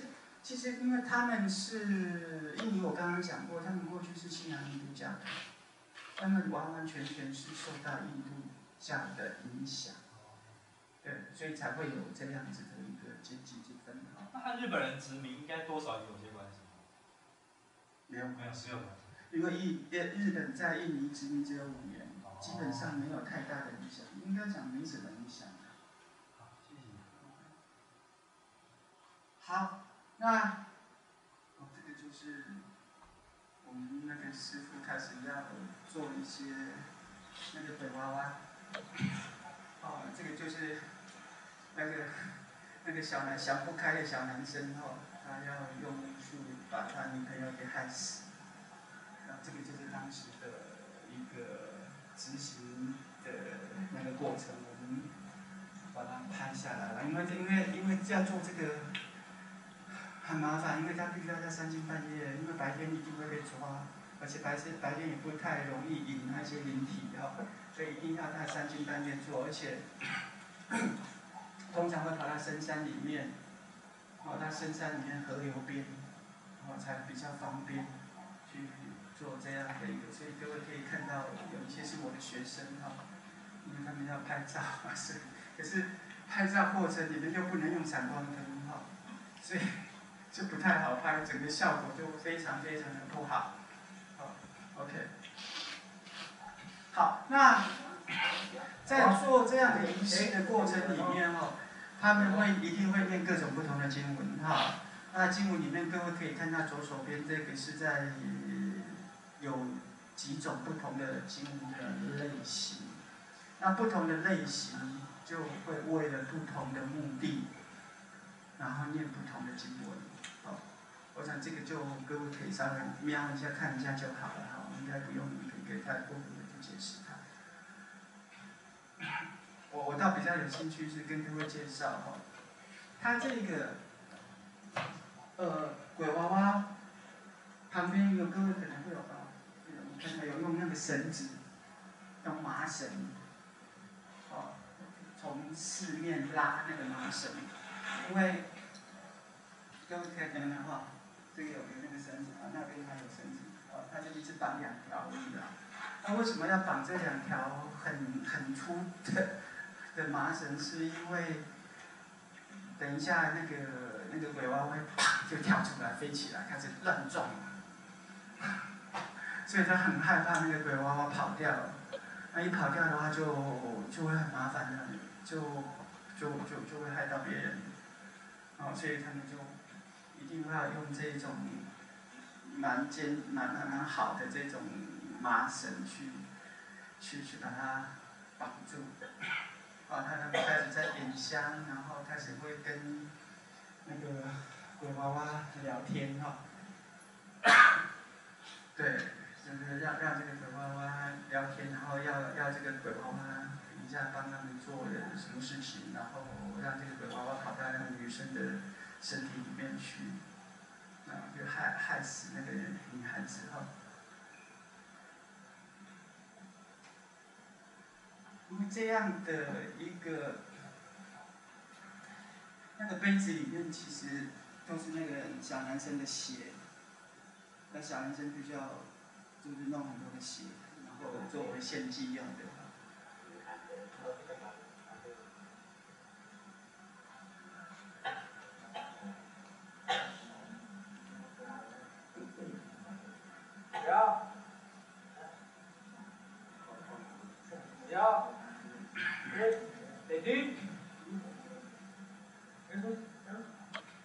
我们在做这个田野的时候，我们有一个同学，我们学校一个陆生，他就跟着我们去做田野，然后跑到坟墓堆里面去，然后因为有些坟墓才刚刚挖嘛，然后其实也不能讲刚刚挖，应该是。已经挖起来了，里面没有了。就原来是有塔，有有有有尸体在那边，然后后来，呃，就是我们那个同，因为在坟墓坟场里面是不可以点灯的，你只能靠月亮灯光哈。那我们那同学为了要拍照，啊，不小心就跌跌到那个坟那个坟墓坑里面，就完了。就中标了啊，所以呃蛮麻烦的。后来我们也请人家做法啊，那不知道怎么办呢？对，啊那个就不说了。那这个就是当时的一个呃巫师他们的一个情形啊。好，那在印尼里面哈，在印尼他们有各种类似的跟音乐有相关的这些呃宗教仪式哈。呃，刚刚当然经文是一个最重要的，啊，经文是最重要的。那每一种呃乐器，啊，他们也都可以达到某一些医疗的这些效果，好，不同的乐器有不同的功能。这个或许就是我们讲说类似有一点点类似那种，呃，怎么讲？就是说法器吧，哦，我们道教里面常常讲什么法器，法器啊。这法器跟乐器是不太一样的哈，呃，通常法器是比较属于节奏型的乐器哈，呃，节奏型的的的器具，的宗教性的这种器具啊，乐器它它通常都是比较旋律型的，好，这是在中国是这样子，啊，或者在在台湾是这样子，哈，那在印尼呢？呃，也差不多。印尼他们不竟然是如此，可是印尼它会跟它的所谓的调式系统，因为再讲下去就是很多音乐的，我就就因为各位也不是学音乐的，我我就不讲太多了。就是说，在音乐的体系里面啊，呃，各位如果去有机会听到印度的音乐的话，印度的音乐不能乱演奏的，哪一个时辰演奏什么样的调式？它都是固定的，你不能把错误的时呃错误的调式用在哪一某一个时辰，因为这样子的话，宇宙就会乱掉。OK，那宇宙一乱了，就会出事了，要么生病，要么怎么样啊？这样就就会很麻烦，非常非常麻烦啊！这是印度的一个文化体系。那印尼他们也受到。呃印度的这样的一个影响啊，所以尽管我们刚刚讲到说大部分的乐器是属于打击性的乐器，不过也不尽然，好也不尽然啊，有有很多的一些呃乐器。其实它是用在宗教仪式里面的，可是它却是属于一种旋律型的这样这样的一个乐器，啊，也有的。OK，好。另外一种在印尼很普遍，我们也常常可以看到的，就是有一种叫卢瓦旦。卢瓦蛋呢，嗯，它是戏剧，它是一种皮影戏。哦，然后呢，它是用皮影戏来帮人治病的，啊，那他就会根据你的病况，然后决定来演什么样的皮影戏，然后唱什么样的经文，哦，这是都不一样的哦。然后呢，要演这种瓦旦皮影戏的达浪，达浪就是所谓的超偶师哈，呃，也。也必须要有很很好很好的家庭的人才可以来演这种呃瓦旦这样的皮影戏的，不是一般的皮影戏的呃超老师就可以来演，不行的。第一个他不能，呃，他老婆必须要在，哦不能老婆过世了，那这个就不能演，他就没有资格当当这种瓦旦，或者说他的孩子，哦都必须要在。嗯，对，还有他的爸爸妈妈也必须要在，哇，这就不容易了哈，不容易了。好，再来他必须要德高望重的皮影戏的操偶师，也才可以。当然，他必须要有这一种，呃，我们刚刚讲到的巫师的身份，才能够帮人家治病。所以也，否则也不行啊，也不行。所以这个部分呢。呃，目前呃很多学者都提到了，哦都提到了，可是没有人做，哦目前还没有人做这一方面的一个研究哈。那我也还没有做哈，这我只是看过，可是还没有真的做深入的去研究。不过还好，我们学校一个博士生哈，我的学生啊，他他的博士论文就是写这个。哦，这就是写印尼他们如何用罗旦这样的一种皮影戏的方式来治病的。啊，他是专门，他的博士论文就是专门写这一方面的。好，OK，好，那呃，大致上跟各位介绍了呃印尼的一个传统的这种民间的医疗体系啊。然后当然，我们跟讲说，它跟整个宗教是有绝对的一个密切的一种关系。好，所以，呃，当然它会变成一种医疗体系，它有个前提，它是一个信仰者。好，它是一个信仰者。那在印尼，尽管大家的都是呃穆斯林，可是印尼的穆斯林也也跟沙特阿拉伯、伊朗这边的穆斯林很不一样啊。印尼是一种结合了沙特阿拉伯这一边的伊斯兰的体系，跟那种巫术，印尼当地的印度教还有巫术体系三种不同的宗教系统结合在一起的一种很特殊的一种宗教体系哈。所以，尽管我们在讲说，呃，穆斯林他们通常都是呃只拜一神嘛，伊斯兰教是一神一神的体系。可是事实上，在印尼的伊斯的的伊斯兰教是很特殊的，你不能用一般的那种伊斯兰的概念来来看他们。好，比如说吧，我举一个例子啊，呃，在印尼有很多的穆斯林在拜什么？在拜郑和。他们在拜郑和，因为他们认为郑和当时下西洋到了印尼。然后他郑和都知道他是穆斯林，呃，郑和是穆斯林，那郑和的手下也很多是穆斯林，那他有很多的手下后来就留在印尼，没有回中国了，然后在印尼传教，哦，所以他们认为郑和对于整个伊斯兰的发展上面有很大很大的贡献，所以他们就，我去过郑和庙，我去郑和庙的时候很好玩的是，你你会精神分裂，因为穆斯林是不可以拜神像的，对不对？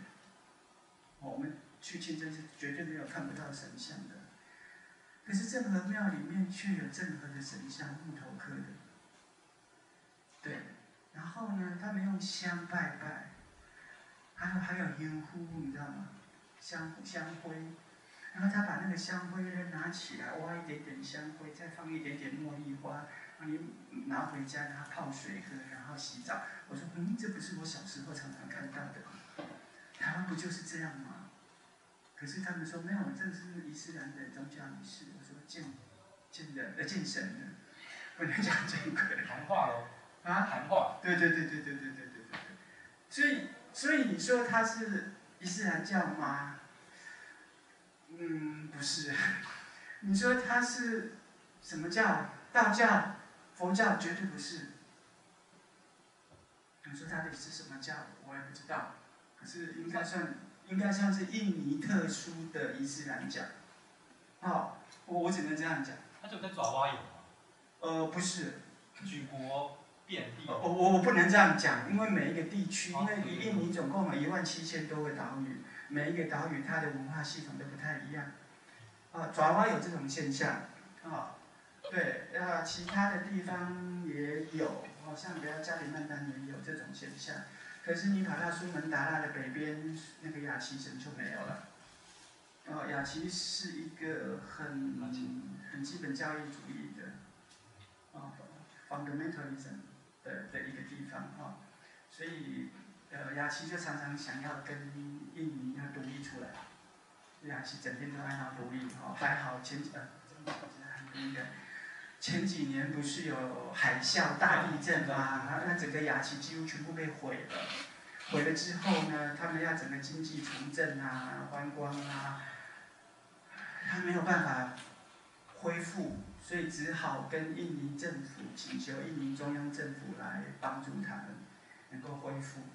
那中央政府就说好啊，我帮你啊，不过前提是什么？你再也不准再给我闹独立了啊！必须要签那个什么 和平协定啊。OK，那雅琪为了要恢复原原那个正常哈，只也不得不只好签了。所以雅琪已经很久很乖了，十几二十年很。有十几年了，很乖的，都没有再闹独立的。未来不知道还会不会，不知道啊。不过至少十几年来确实是没有的啊。OK，好。所以我们讲说，呃呃，这种巫术系统在在整个印尼都很普遍哈，非常普遍的。然后这些经文往往是人跟神之间沟通的一种工具，啊，这种经文的唱诵是人跟神之间沟通的工具哦。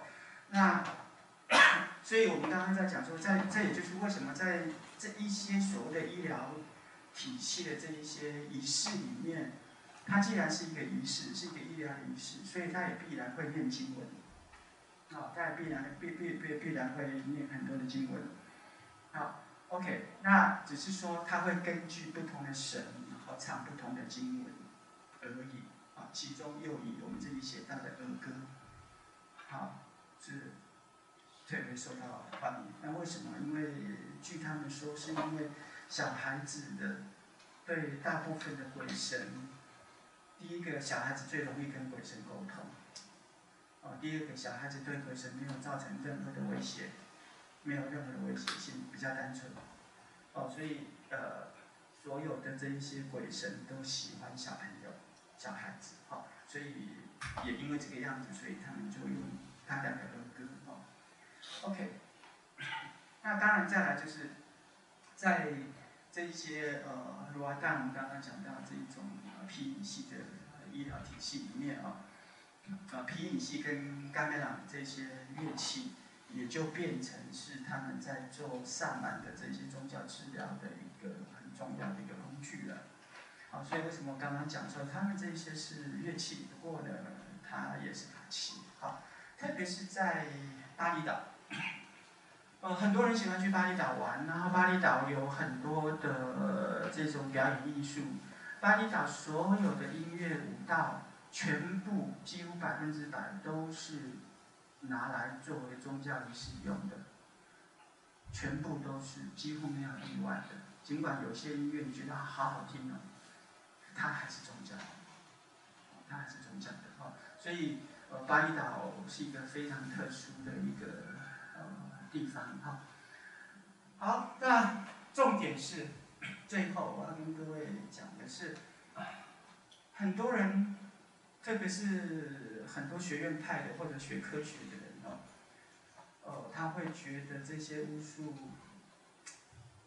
乱七八糟哈，呃，永远都不相信他，他怎么可能会治疗病哦？顶多就是一种心理的慰藉吧。哦，那心理状态会影响到生理状态，那，顶多只是这样，可是他基本上没有办法达到一个真正的一个医疗的行为。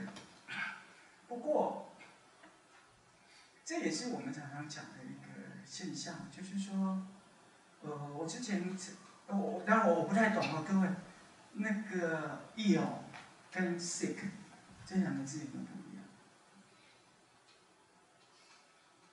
不？是学医是学医的，应该比我清楚。这两个字好像翻译出来好像就是生病，是不是？疾病是吧？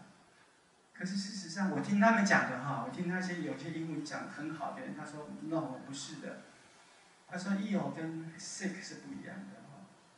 他说 ill 比较属于生理方面的一种造成的一种疾病，可是 sick 呢？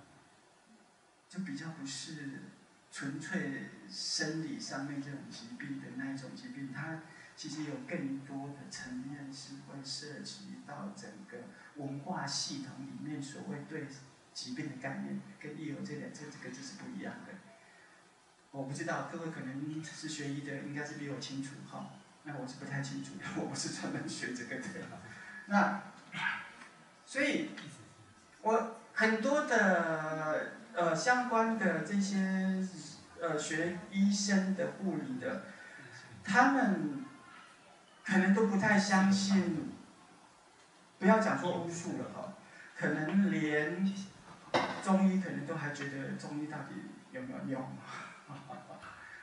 更何况是这些巫术，哦，对学医的人来讲的话，可能是不太能够接受这些。可是我刚刚一开始的时候就跟各位讲了，不管他能不能真的把病人的病医好，哦，尽管我们也看了蛮多，确实是医好了，只是说到底什么原因造成医好，这个我不愿意去讲，因为我不是做用这种科学的方式去从事这样研究的，我们比较是是属于文化面的。所以我不愿意去讲说他是不是真的把病人医好了，尽管我看了很多，好像病人真的都好了。可是不管他是我刚刚讲，不管他是不是真的把他医好，可是不可否认一个事实是，这些病人他们确实是非常相信这些巫术、巫师，而且巫师们。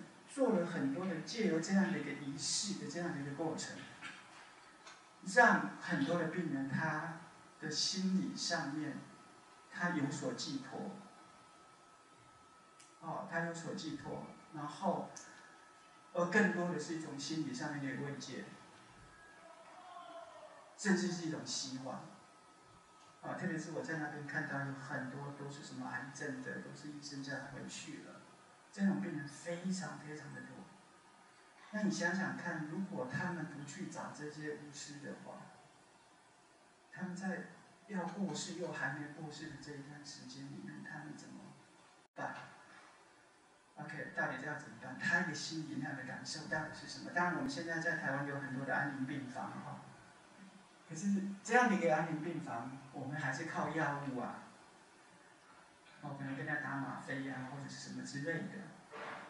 可是他们的心理，等一下下，可是他们的心理状况到底是什么？哦，这个这个可能，嗯，还有一个很大的一个空间。对不起，来请说。我想请教一下，就是就像老师提到的，这个仪式在有没有疗效这件事情，其实我没有办法确定。对。那只是我比较好奇的是，有没有老师有没有遇到经验是，医师透过跟这样子的信仰合作，那去让病人接受，愿意接受一些药物的治疗的经验，这样子。呃，谢谢谢谢，我觉得蛮好的。呃，过去确实很少有这样的案例，真的没有，以前真的是没有，一直到大概五六年前，我刚刚讲到的，呃，在泗水那边那个那个医院，因为那个医院是荷兰人开的，那个医院里面他是当然是完全是西医，那后来那个医师，那那那个那个医院里面他们。碰到这种类似的情况太多太多了，所以他们后来成立了一个博物馆，呃，医医学博物馆。啊，这个博物馆里面就是专门在收集这些相关的一些巫术或者法器或者是什么样的，他们做了很多这些相关的一些尝试，这样的做一个研究。那我知道五六年前开始有一些呃荷兰的医生开始尝试着 跟这一些巫师做合作，好做合作，然后有跟印尼政府，因为基本上我刚刚讲的巫师都是违法的，所以所以他们这个医院就是特别跟印尼政府申请的一个计划案，那这个计划案是列管的计划案，所以。这些巫师就没事，跟跟这些医生做合作的这样的一个巫师，他们基本上就没事的，是可以的。所以他们现在已经开始在做了，确实有已经有一些医生开始在做这样的事情了，有的。那只是说这么这几年来到底到底结果怎么样？呃，我不是很清楚。这个或许有机会的话。或许还可以再再再真的再去做做做一些追踪，到底他们现在情况是怎么样？对对，OK 好，好，所以我刚刚讲到，其实就是最后了，就是说，呃，对于印尼人来讲，巫术它代表的不是只是一个宗教医疗，事实上它是一个转化精神跟文化传统的一个象征。像比如说，我刚刚讲到那一个呃。那个入神武道，入神武道蛮好玩的。入神武道在台湾，很多的印尼的这些所谓的外籍老公，他们把入神武道带到台湾来了，因为他们只有透过这样的一种入神武道，他们才会觉得心里有平安，啊，才他们才会有得到这种心理上面的慰藉。呃，我看过两次在台湾，一次是在台南，一次在高雄。我北北部我不知道，北部我没看过。哦，一次在高雄，一次在台台呃台南公园。哦，他们很多的印尼的这些外籍劳工，他们就举办了这样的一个仪式。然后他们就开始，呃，其实我应该放更更更多的影片，他们会开始会。跟台湾的那种党地某一些层面来讲有一点像，比如说他们会吞玻璃，哦，他们会把那个玻璃瓶打碎了，然后一直咬，一直吞，一直吞很多的玻璃。呃，我我说了哈，我我不是学科学的哈，我不管各位信与不信，那他就是吞了一堆玻璃，这个也都是真的，啊，因为他就是 大家都看得到嘛，他就把那个酒瓶哈。啤酒瓶都打碎了，然后就一直咬，一直咬，然后就吞这两两两个瓶那个那个玻璃瓶全部吞到他肚子里面去了。可是观他也好好的，好像也没怎么样。我不知道仪式结束之之后会不会跑医院，这我不太清楚。哈，不过应该不会吧？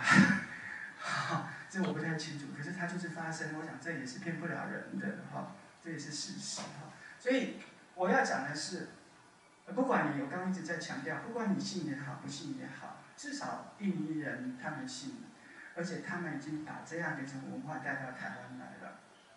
然后在台湾某一些情况之下，他们在举行了，而且更好玩的是，他们可能早上到清真寺做完所谓的清真寺的这种礼拜，之后下午就到外面去做 这样的入真舞蹈。所以你说它到底是什么教？我不知道，那，我不知道它是什么教。OK，好，那至少毫无疑问的是，对印尼人而言，它不是只是宗教而已，它是一种文化象征，是一种精神的慰藉。啊，好，那听说有一些同学都学过印尼文的嘛，好，所以各位各位应该可以看得到哈。德里马加西跟马德罗文，马德罗文是爪哇语的德里马加西。那谢谢的意思啊。好，那最后我不晓得各位有没有什么样的，尽管刚刚已经有两位同学问了一些问题啊，我不晓得有没有其他的同学有兴趣，有什么问题是请。就想要请问一下，就是呃，就是有老师有提到呃印尼的音乐，然后在印尼的音乐它本身怎么发展，其实感觉像印尼它受到第三代大影响，就感觉印尼的音乐跟中东世界的音乐有蛮大的差。想到你问的是音乐的问题啊，谢谢，蛮开心的。呃，其实很多学学学音乐音乐程度都很好，所以你会常常有那个什么姓名合唱团啊，姓名什么乐团，什么什么管弦乐团啊。呃，成成大医院就有一大堆医生，他们音乐能力都非常强，就是呃都是西医呃那个西乐而已啊。好，谢谢。呃，印尼音乐。其实也很复杂哈，你要看是哪一个体系的音乐，比如说甘美朗，啊，甘美朗，它事实上是属于中爪哇跟东爪哇，还有巴厘岛最流行，西爪哇也有，可是西爪哇比较偏向于安克隆，就是竹筒琴，那竹竹子摇的那种竹筒琴。那甘美朗它是事实上是比较受到印度。文化影响，好，它受到印度文化影响比较多，所以整体而言，印尼的音乐体系大部分是跟呃印度教是比较有关系的，或者是跟萨满教，就是巫术这这那个系统有关系的。那因为印尼人他们很虔诚哈，就是早期他们都是信仰伊斯兰，呃那个。印度教、佛教的系统，好，所以当伊斯兰教进入到印尼来的时候，你想想看，从要从一个宗教信仰要换到另外一个宗教信仰，其实是我们讲所谓改宗哈，其实是非常非常难的。就以我以讲我自己好了哈，我是我们家第一代的基督徒，也就是说以前我们家都是什么神都拜的，妈祖也拜了。观世音菩萨也拜，土地公也拜，只要有神神像的都拜了，你知道？呃，当然祖先也拜。所以，当我们要改信，当我要我去，我是因为去美国读书的关系，然后要找到一个庙很难哈。要找到一个庙，大概开车开好几个小时。等你找到的时候，也不难过的，也不用去找了哈。所以，很多朋友就说啊，要不然。隔壁教堂你就去吧，反正你就把圣玛利亚当成是妈祖就好了，也差不多哈。我说好，反正都是女的嘛，都是女女神嘛哈，无所谓了。圣玛利亚跟妈祖跟我对我来讲是差不多的。我说我就去去教会里面拜妈祖嘛。OK，呃，可是你知道一回到家的结果会是什么？我不晓得这里有没有地。哦，我妈妈就不得了了。你姓什么？你是姓耶还是姓蔡？如果你姓耶的话，耶稣耶和华嘛。不是道士啊。那家里的财产你都不能不要拿，一块钱你都可以拿，你给我出去，滚出去！你不姓蔡，你不是我们家的人。完了，钱还是小事，包括也是大事。可是，当妈妈有这样反应的时候，你怎道吗？啊，我妈妈最后还冒出一句狠话：“你走慢了，戏也写成你边带。”我操！就是，你怎不能把他气死？说你戏戏练太紧，我想要人家带一样。拜狗妈的狗。嗯，这种很难处理的，你知道吗？后来我只好拿着香跟跟耶和华祷告。那怎么办？这没有，我就拿个香，然后看着神像，然后主耶稣，求求你再保佑我们家的祖先哈。我只能这样，要不然你叫我怎么办？你叫我怎么面对？我的意思是说，当你从一个宗教要改改另外一个宗教，那个有多难，你知道？那真有多多少的征战，自己心里的征战，还要面对家里家庭的征战，那是很痛苦的一件事情。我的意思是说，那同样的，为什么他们在印尼可以由一个完全很传统的印度教佛教的信仰体系，砰一下子变成全国都，我应该讲说全国百分之八十五以上都改信了伊斯兰教？他们怎么做的？这是一个比较有趣的，他们怎么做的？他们很厉害，伊斯兰教真的很厉害。他们怎么做？第一个，印度教里面国王死掉的时候要有九十天的禁食，是印度教里面有的。然后他们就说，当伊斯兰教跑到印尼来的时候，他们就说，你国王死掉要有九十天，哦，禁食嘛。那伊斯兰教里面也有禁食，叫拉玛旦，每年的九月，伊斯兰历的九月，也要禁食一个月。所以他们就说，其实不就一样吗？而且你们还少了六十天，因为本来你们在印度教是九十天呢，那伊斯兰就变六十，变三十天而已哦，是不是？所以其实伊斯兰教跟印跟跟跟跟印度教是一样的，没有什么改变。然后他们更厉害的是，他们把在演奏祭神的这种甘美朗乐器拿来祭谁？祭真主阿拉。各各位知道吗？哦，拿祭拜印度教的这些神明的这种音乐拿来祭拜真主阿拉。这你知道印那个沙特阿拉伯，他们是正统伊斯兰，是不可以有乐器在整个清真寺里面做祭拜，他们是不可以的。可是印尼人说没关系，他们把拿来拿那个祭拜印度教的神的这些乐器，全部拿来在清真寺里面做。嗯，对对印尼人来讲，哎，一样啊，对吧？所以，嗯，更好玩的是，他们会用皮影戏来演穆罕默德的一生生平。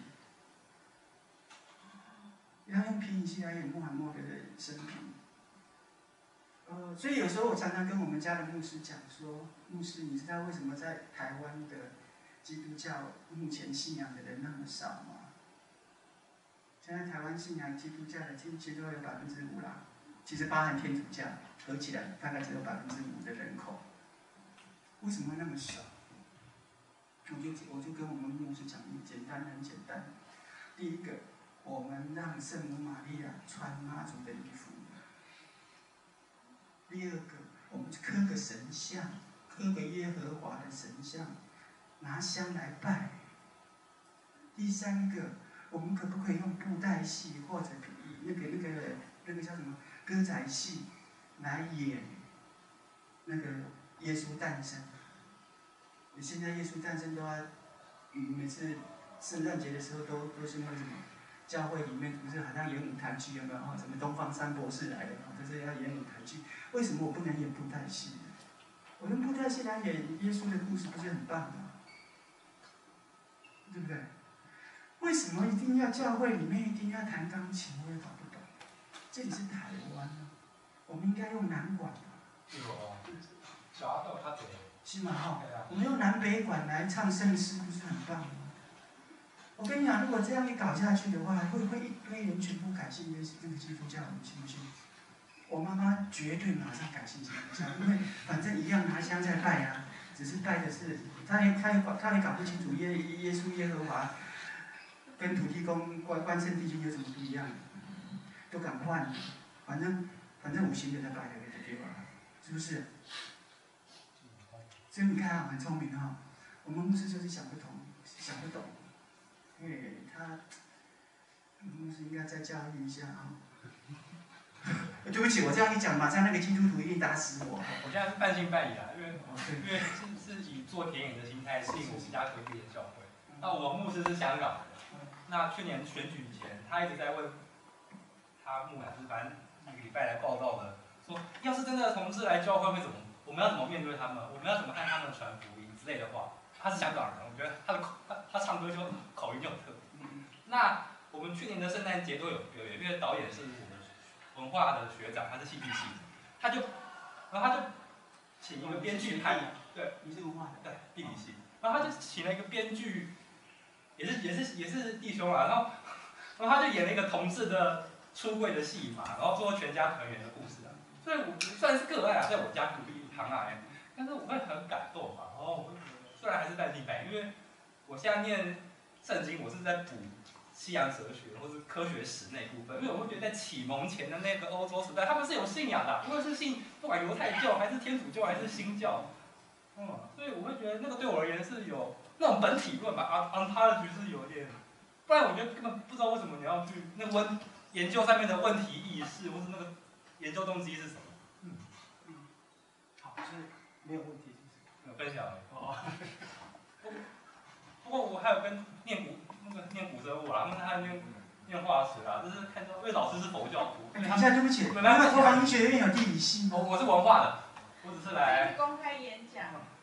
哦好来了。哦，所以你不是啊，你不是国防医学院的同学是不是？是灿烂时光的常客啊，哦哦哦，好好好好，对不起，我我误会，我是奇怪我是。阳明山来的。呃，为什么为为为为什么国防医学院还有地理系？医学地理吗？因为师大有老师在研究，哦，是吧？哦，好好医生世家。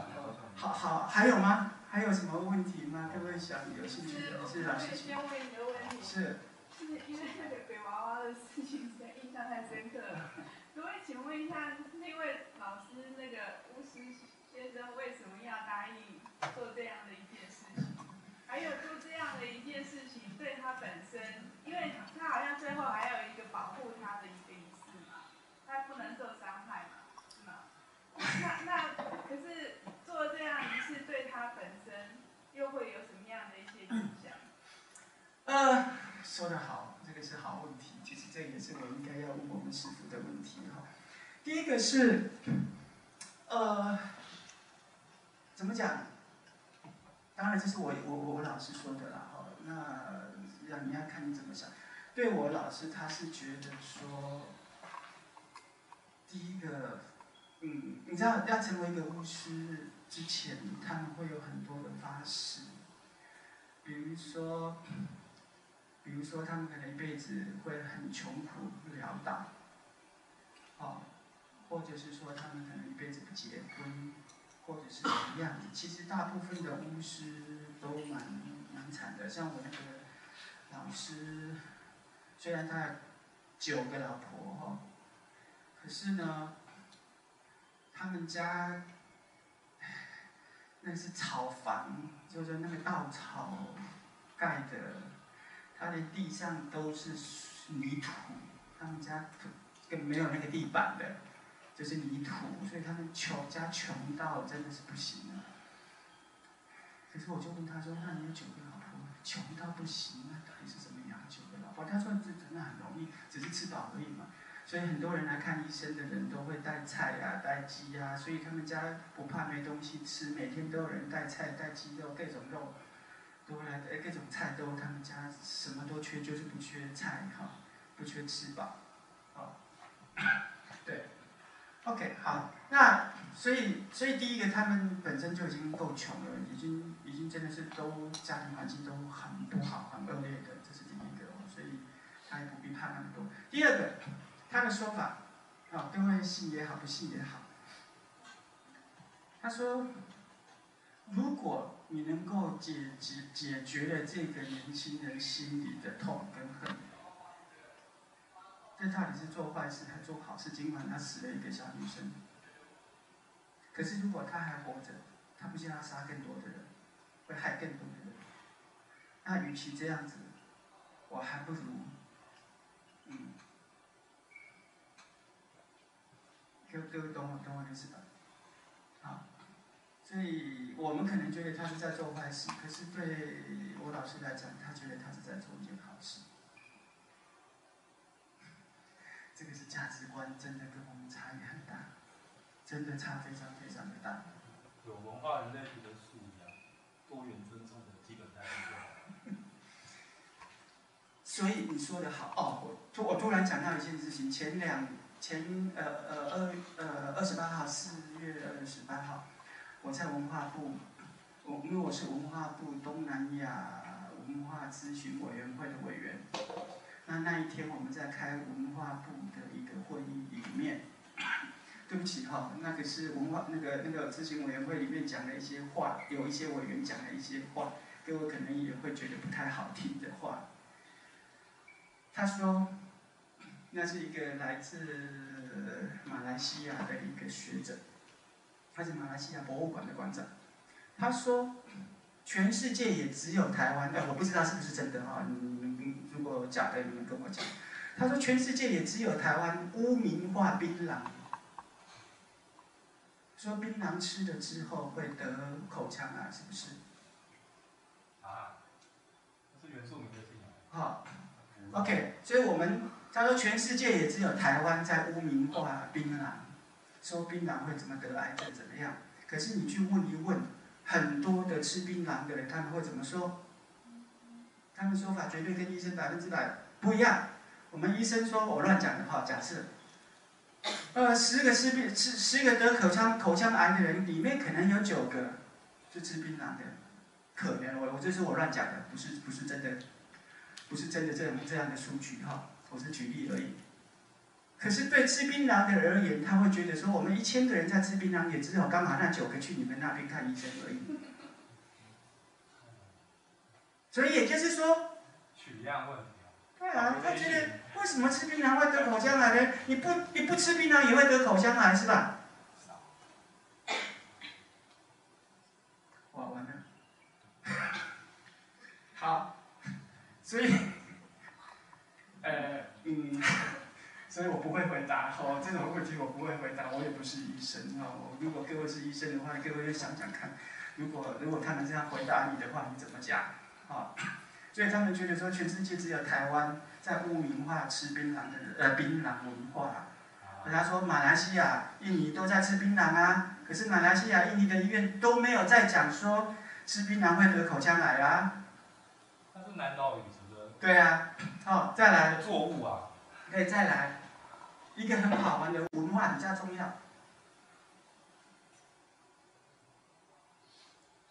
啊，我再举一个例子。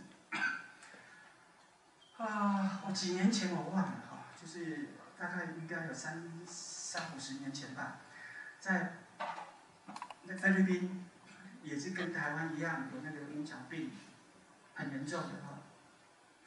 然后联合国他们有那个什么卫生组织，然后去去去菲律宾，然后做了研究，就发现啊，跟他们饮用的水是有关系的，而，是因为他那个地下水，因为他们都是挖地下的那个水在喝，那个地下水已经遭到污染了。哦，呃呃不，对不起，河流里面的水，sorry，它就是河流里面的水，他们就拿来喝，它已经遭到污染，河流的水都遭到污染了。OK，所以呢，联合国的人呢就花了很多的钱跑到菲律宾挖了好几百口的井水，然后请到你们不要再喝河流里面的水了，请你们都改喝井水。那那改喝井水了之后，应该就会好了，对吧？你们就不喝河流那个被污染的水嘛。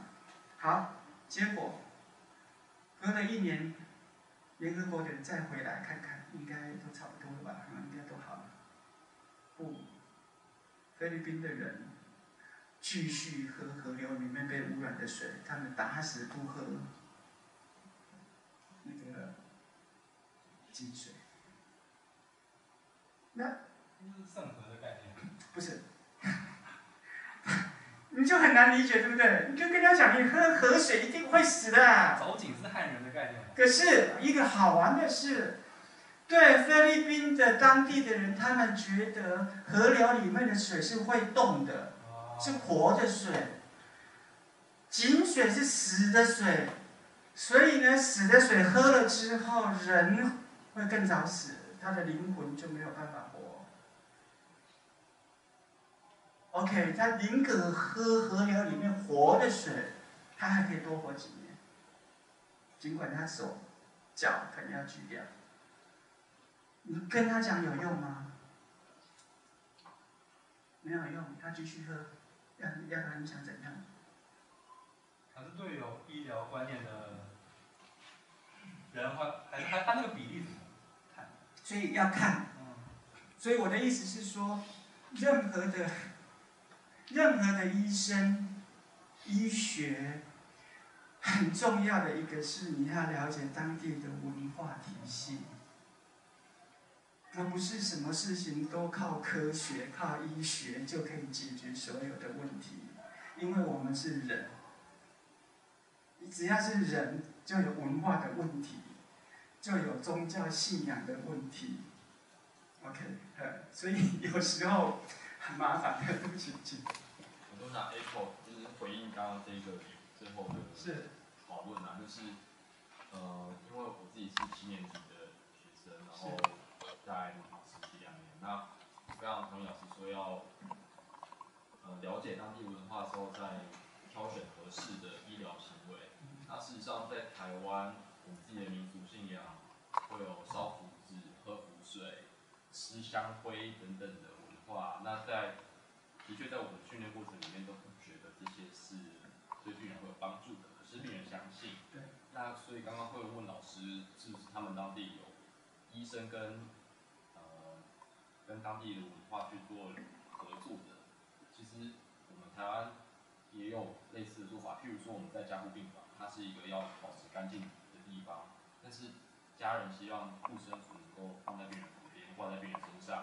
这时候我们的做法就是用塑胶袋把它装起来，然后放在病人的枕头旁边，然后家属一进来就看得到他的那个护护身符就在病人旁边。这种方式，又或者填吃香灰的方式，我们会跟就是呃鸡桶或者是法法师们讨论完之后，不用吃的，改用擦澡的方式去替他净身，就是换个把把仪式换一种形式，一样的那种祝福的疗对效。对对对。所以这其实是我想回应老师最后讲的那一部分，就是台湾目前的做法有这些，那当然还有更多种，就是我们我所知道的。那了解印尼人他们的文化，毕竟他们在这边有这么多的人，那要怎么样去合作，然后达到最好的效果，说不定他们就不用去手去找了。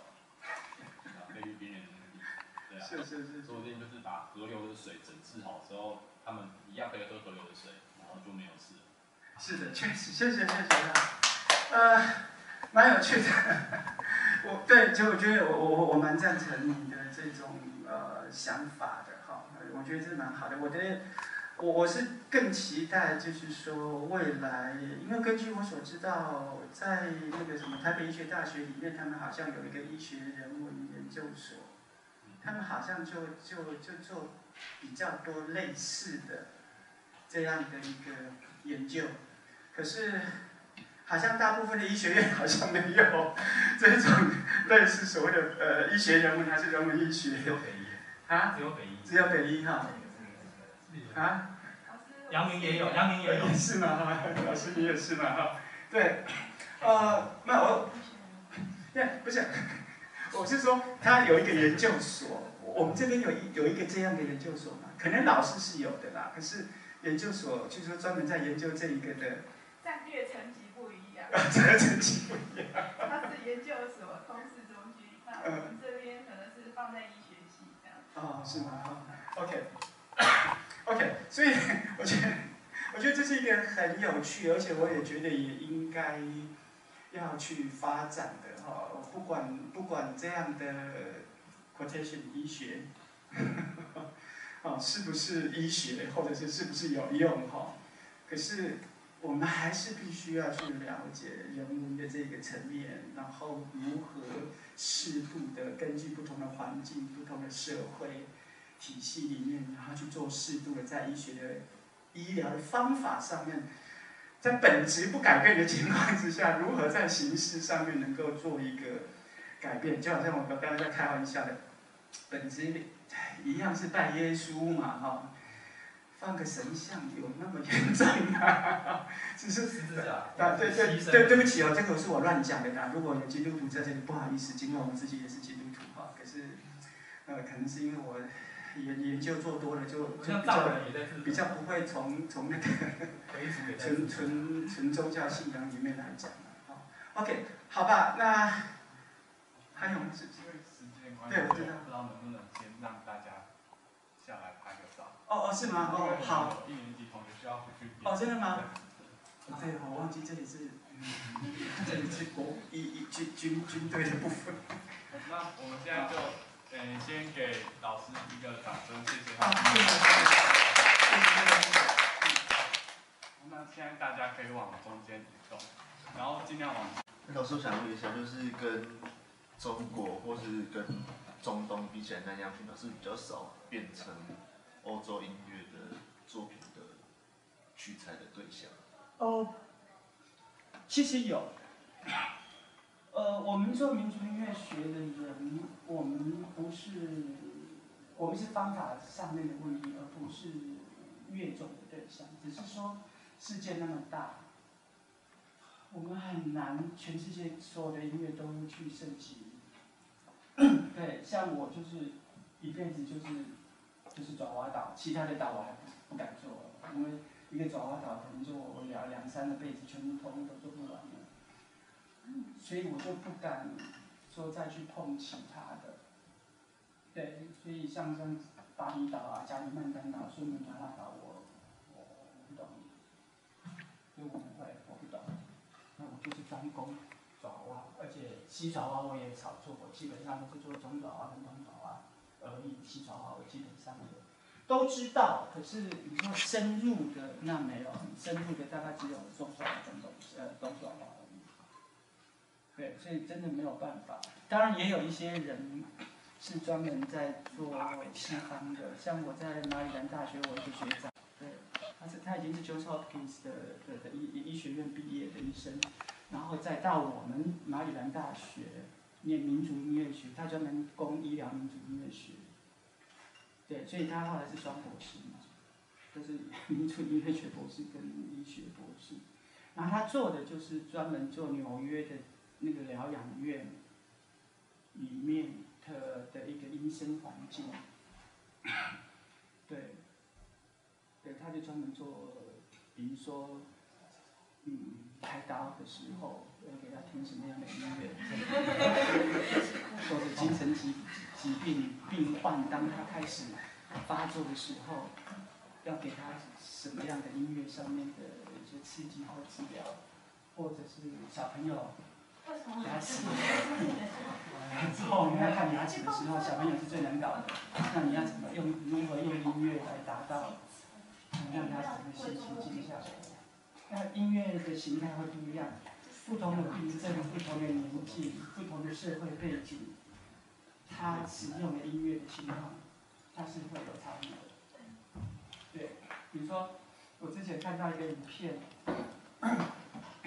是开刀，哦，他就是那个呃呃呃，要把那个什么那个叫什么，呃呃，胆割掉，他他他要做一个开刀，然后那个人很喜欢吹萨克斯风，他是一个极端的萨克斯风的迷，然后很喜欢吹爵士乐，他居然一边开刀一边吹萨克斯风，然后没有打麻醉，对，然后就完成了。而那个影片我都在，我就看到，因为他们在做这方面研究观察的人，他们就要做，所以在这种情况之下，他可以，他可以借由音乐，然后减少他的麻醉量，就会减少很多。生小孩，所以像像比如说，当妇女在生小孩的时候，她最后肯定要脊椎这边打麻醉嘛，可不可以用音乐来当成一种麻醉的一种方式呢？或者是说麻醉少一点点，啊，因为音乐的关系而造成你麻醉可以少一点点，可是达到一样同样的效果，有没有这种可能性？那这个在国外真的做的已经不少了，蛮多的医院都在做这样的事情。对，因为音乐它是一个比较抽象性的，而且是很心理性的，它比舞蹈、比戏剧、比美术，在某一些情况之下，特别在医疗这个方面，的影响力可能会更大。对，因为它不用不一定要就像画画，你可能要自己去画，演要你自己演的跳。可是音乐你可以躺在那里，可是就是听就好。对，那到底怎么做？是什么样的音乐那个频率，会影响到你你脑部的一个什么样的变化？嗯，看到很多人在做这方面，其实蛮多的。对，所以 如果你读医学系，哦，我们我们系里面有一个，我们系有很多的是护士的，我们系有很多护士，还有药学系的啦。对，我有好几个学生，我指导的硕士研究生，其实他们都是呃护理系跟药学系的来读的，好几个。医学系的到目前没有，不过不过呃呃护理系跟药学系的倒是，特别是护理系的蛮多，然后最后他们都都来研究医疗音乐学，啊这个倒是不少，我已经大概有四五个学生，啊他们都是写有关医疗音乐学的东西，不过他们有人做盲人的，有人做那个 autism，做自闭症的。嗯，蛮多的，对，嗯，特别是自闭症的，自闭症的效果好像特别好，嗯，反正蛮好玩的啦，蛮好玩的，就是精神医学啊。啊，精神医学，是吗？那那不是精神医学，我我们终究我刚刚讲过，我们不是医学。哦。我我我们是民族音乐学，我们比较不敢讲医学，因为终究还是。就是德国的那一套。啊。德国的那一套。啊，德国好几套啊！当然，你讲的精神医学是，其实精神医学本来就是医学里面的一个很正统的一个医学体系了吧。可是德国他们有发展的是更多的很多的民族民族医学，呃，民俗医学。哦。哦，那是那那是又另又又是另外一套体系。对，民俗医学早期台湾也有，那个南华大学他们之前有在做，可是现在不晓得那个所还在不在，搞不好不在也算。嗯，他们要调整情况。嗯。国乐系老师，哎，那个孙孙老师。孙君燕。哎，那我大二的时候把什么学退掉去修，他后来又被当掉，所以我们学啊，我。对。反正我是觉得科学跟人文的结合是一个很重要的，可是我们现在的社会已经过度的把它给分割，过度分割了之后就开始会产生很多的问题。好，就人文的人不够科学，好，那科学的人又看不起人文。哦。OK。那其实这个是一个很大的问题，好，这这这两个都不好，啊，那如何让科学跟人文能够整合在一起？其实这是一个很重要的，在现在的的学术体系里面，我们都只是讲的跨学科的，跨学科的研究，现在应该很少或者可以讲的没有人。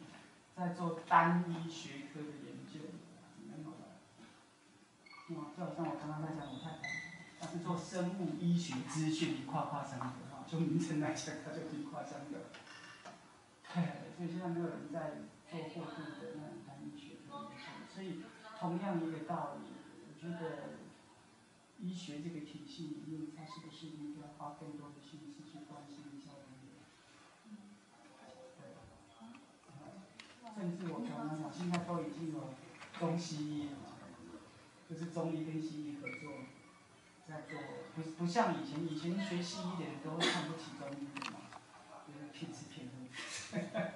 我听好多，他确实很多中医确实也在骗吃骗喝。有得诺贝尔奖啊，那个屠呦呦。啊，屠呦呦对啊，那是所以所以如何去把这种学科之间的整合，然后而不而不是看不起彼此，去看不起，其实这是没有必要的。那既然会存在，那你就一定有它的道理，而不是先去